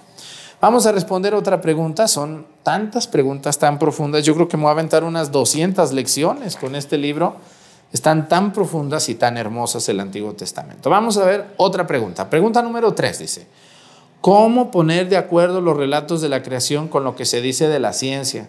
la cual asevera que el mundo y el hombre se han desarrollado por evolución. Bueno, más o menos ya respondí a esta pregunta. Hay un hombre llamado este, Darwin que habló de una de las teorías de la teoría de la evolución, que es una teoría y que no deja de ser teoría, no ha sido todavía avalada por todo, por la sociedad como tal, porque una cosa es una ley y otra cosa es una teoría. Yo puedo tener una teoría de los extraterrestres, pero no ha sido probado y no deja de ser una teoría. Yo pienso que a lo mejor existe vida en otro planeta o yo pienso que no. Esas son teorías. Yo creo. O tengo medio pruebas, pero no son pruebas contundentes. Por eso hay una ley que existe de que a lo mejor hay vida en otro planeta, pero no, perdón, una teoría, pero no es ley. Lo mismo pasa aquí. La teoría de la evolución habla de que los seres humanos fuimos creados, fuimos solamente evolutivos, o sea, que nace la chispa de la vida con el Big Bang. Ustedes han oído esa. Esa teoría del Big Bang fue fortalecida y creada por un sacerdote, fíjense, que habla de que todo estaba comprimido y de un de repente hubo una gran explosión y todo lo que existe se fue desarrollando y se fue armando la vida, así como la tenemos de manera muy lenta, muy lenta, progresiva, pero muy lenta. Bueno, yo les voy a decir que la teoría de la evolución con la teoría de la creación no están tan peleadas como parecen. No están tan peleadas. Una persona, Dios creó la vida. Eso sí, ahí no hay duda de que tuvo que haber un principio ejecutor que movió, que creó, que fortaleció para que la vida existiera como hoy la tenemos, vida vegetal, vida animal o vida humana. Pero la evolución habla de que las seres van naciendo de otros seres. Y pudo haber sido, puede haber sido, pero lo que a mí me importa es que tuvo que haber un momento de la intervención de Dios para que un chango dejara de ser chango y comenzara a ser hombre. Yo tengo algunas objeciones sobre el tema de la evolución en el sentido de que a partir de que los hombres y las mujeres tenemos la capacidad de estudiar las especies, que ya tenemos más de dos mil años, no ha pasado que un chango se convierta en hombre. Hasta ahorita no. O de que un hombre se convierta en chango, aunque hay gente que está de veras que parece eso, ¿no? Pero otra cosa es que parezca y una cosa es que sea. Entonces, a lo que yo voy es que cualquiera que sea la vida de una persona, necesariamente, hermanos, tuvo que haber la intervención de Dios para que una tortuga dejara de ser tortuga y se convirtiera en iguana, o para que una iguana dejara de ser iguana y se convirtiera en víbora o en, o en venado. O sea, la evolución es algo muy aceptado en muchos ambientes, pero tiene algunas observaciones muy difíciles de entender, como es esos saltos tan profundos, tan fuertes, de un animal a otro, ¿no? o de un animal al ser humano. Por lo, por lo tanto, yo les quiero compartir y les quiero invitar que como católicos tenemos que entender que a pesar de lo que se diga de changos, de iguanas, de lo que sea, tenemos que entender que hay un dedo de Dios que interviene para dar vida. ¿Se acuerdan ustedes esa imagen de, de Dios y Adán? Las manos así, una mano de Dios así y otra mano de Adán así como recibiendo. ¿Han visto esa imagen? Bueno, eso significa la creación, es cuando Dios con su dedo toca al hombre y le da el regalo más maravilloso, la vida. Le da vida y lo hace hombre y la hace mujer. Deja de ser lo que sea o Dios lo crea de la nada como habla del barro y así es. La doctrina oficial de la iglesia dice que Dios creó al hombre total y plenamente de la nada. Así. No había nada que se le pareciera al hombre y Dios lo crea y le da vida, y le da ánimo y le da inteligencia. ¿Correcto? Entonces, las personas que creen en la evolución, está bien, puede ser, pero hay que entender que hay alguien que interviene, que fortalece y que simplemente le da el hálito de vida al hombre y a la mujer o a cualquier ser, cualquier animalito, cualquier plantita, para que un árbol sea un nogal y no sea un esquite, o sea un árbol de papayas y no sea un árbol de duraznos. No puede ser que, todo salga de la, que todo salga así simultáneamente, o, que, o que haya un brinco total de un árbol a otro, sino que hay que entender que Dios todo lo hizo perfecto y dijo, la palabra de Dios dice, y Dios vio que todo era bueno. Bueno, pues vamos muy interesante en estas lecciones. Se me ha acabado el tiempo. Vamos a vernos próximamente en la siguiente lección, que está buenísima esta lección 17. Gracias por darle me gusta, gracias por estar aquí, gracias por acompañarme. Les invito a que tengan su libro, su Biblia y que pongamos atención a las lecciones bíblicas y que las veamos por orden, Señor. Si usted se conectó y no ha visto las lecciones anteriores, por favor, no las siga viendo hasta que vea la 1, la 2, la 3, la 4, hasta esta que es la 17. Todo por orden, no brincarse ninguna, no ver una por adelantado o ver una atrasada. No lo hagan porque van a cometer el error de su vida de no entender lo que aquí está pasando o tener muchas dudas de cosas que ya se dijeron. Que Dios me los bendiga mucho, que el Sagrado Corazón me los cuide en el nombre del Padre y del Hijo y del Espíritu Santo. Amén. Muchísimas gracias, muy buenos días, buenas tardes o buenas noches. Hasta la próxima.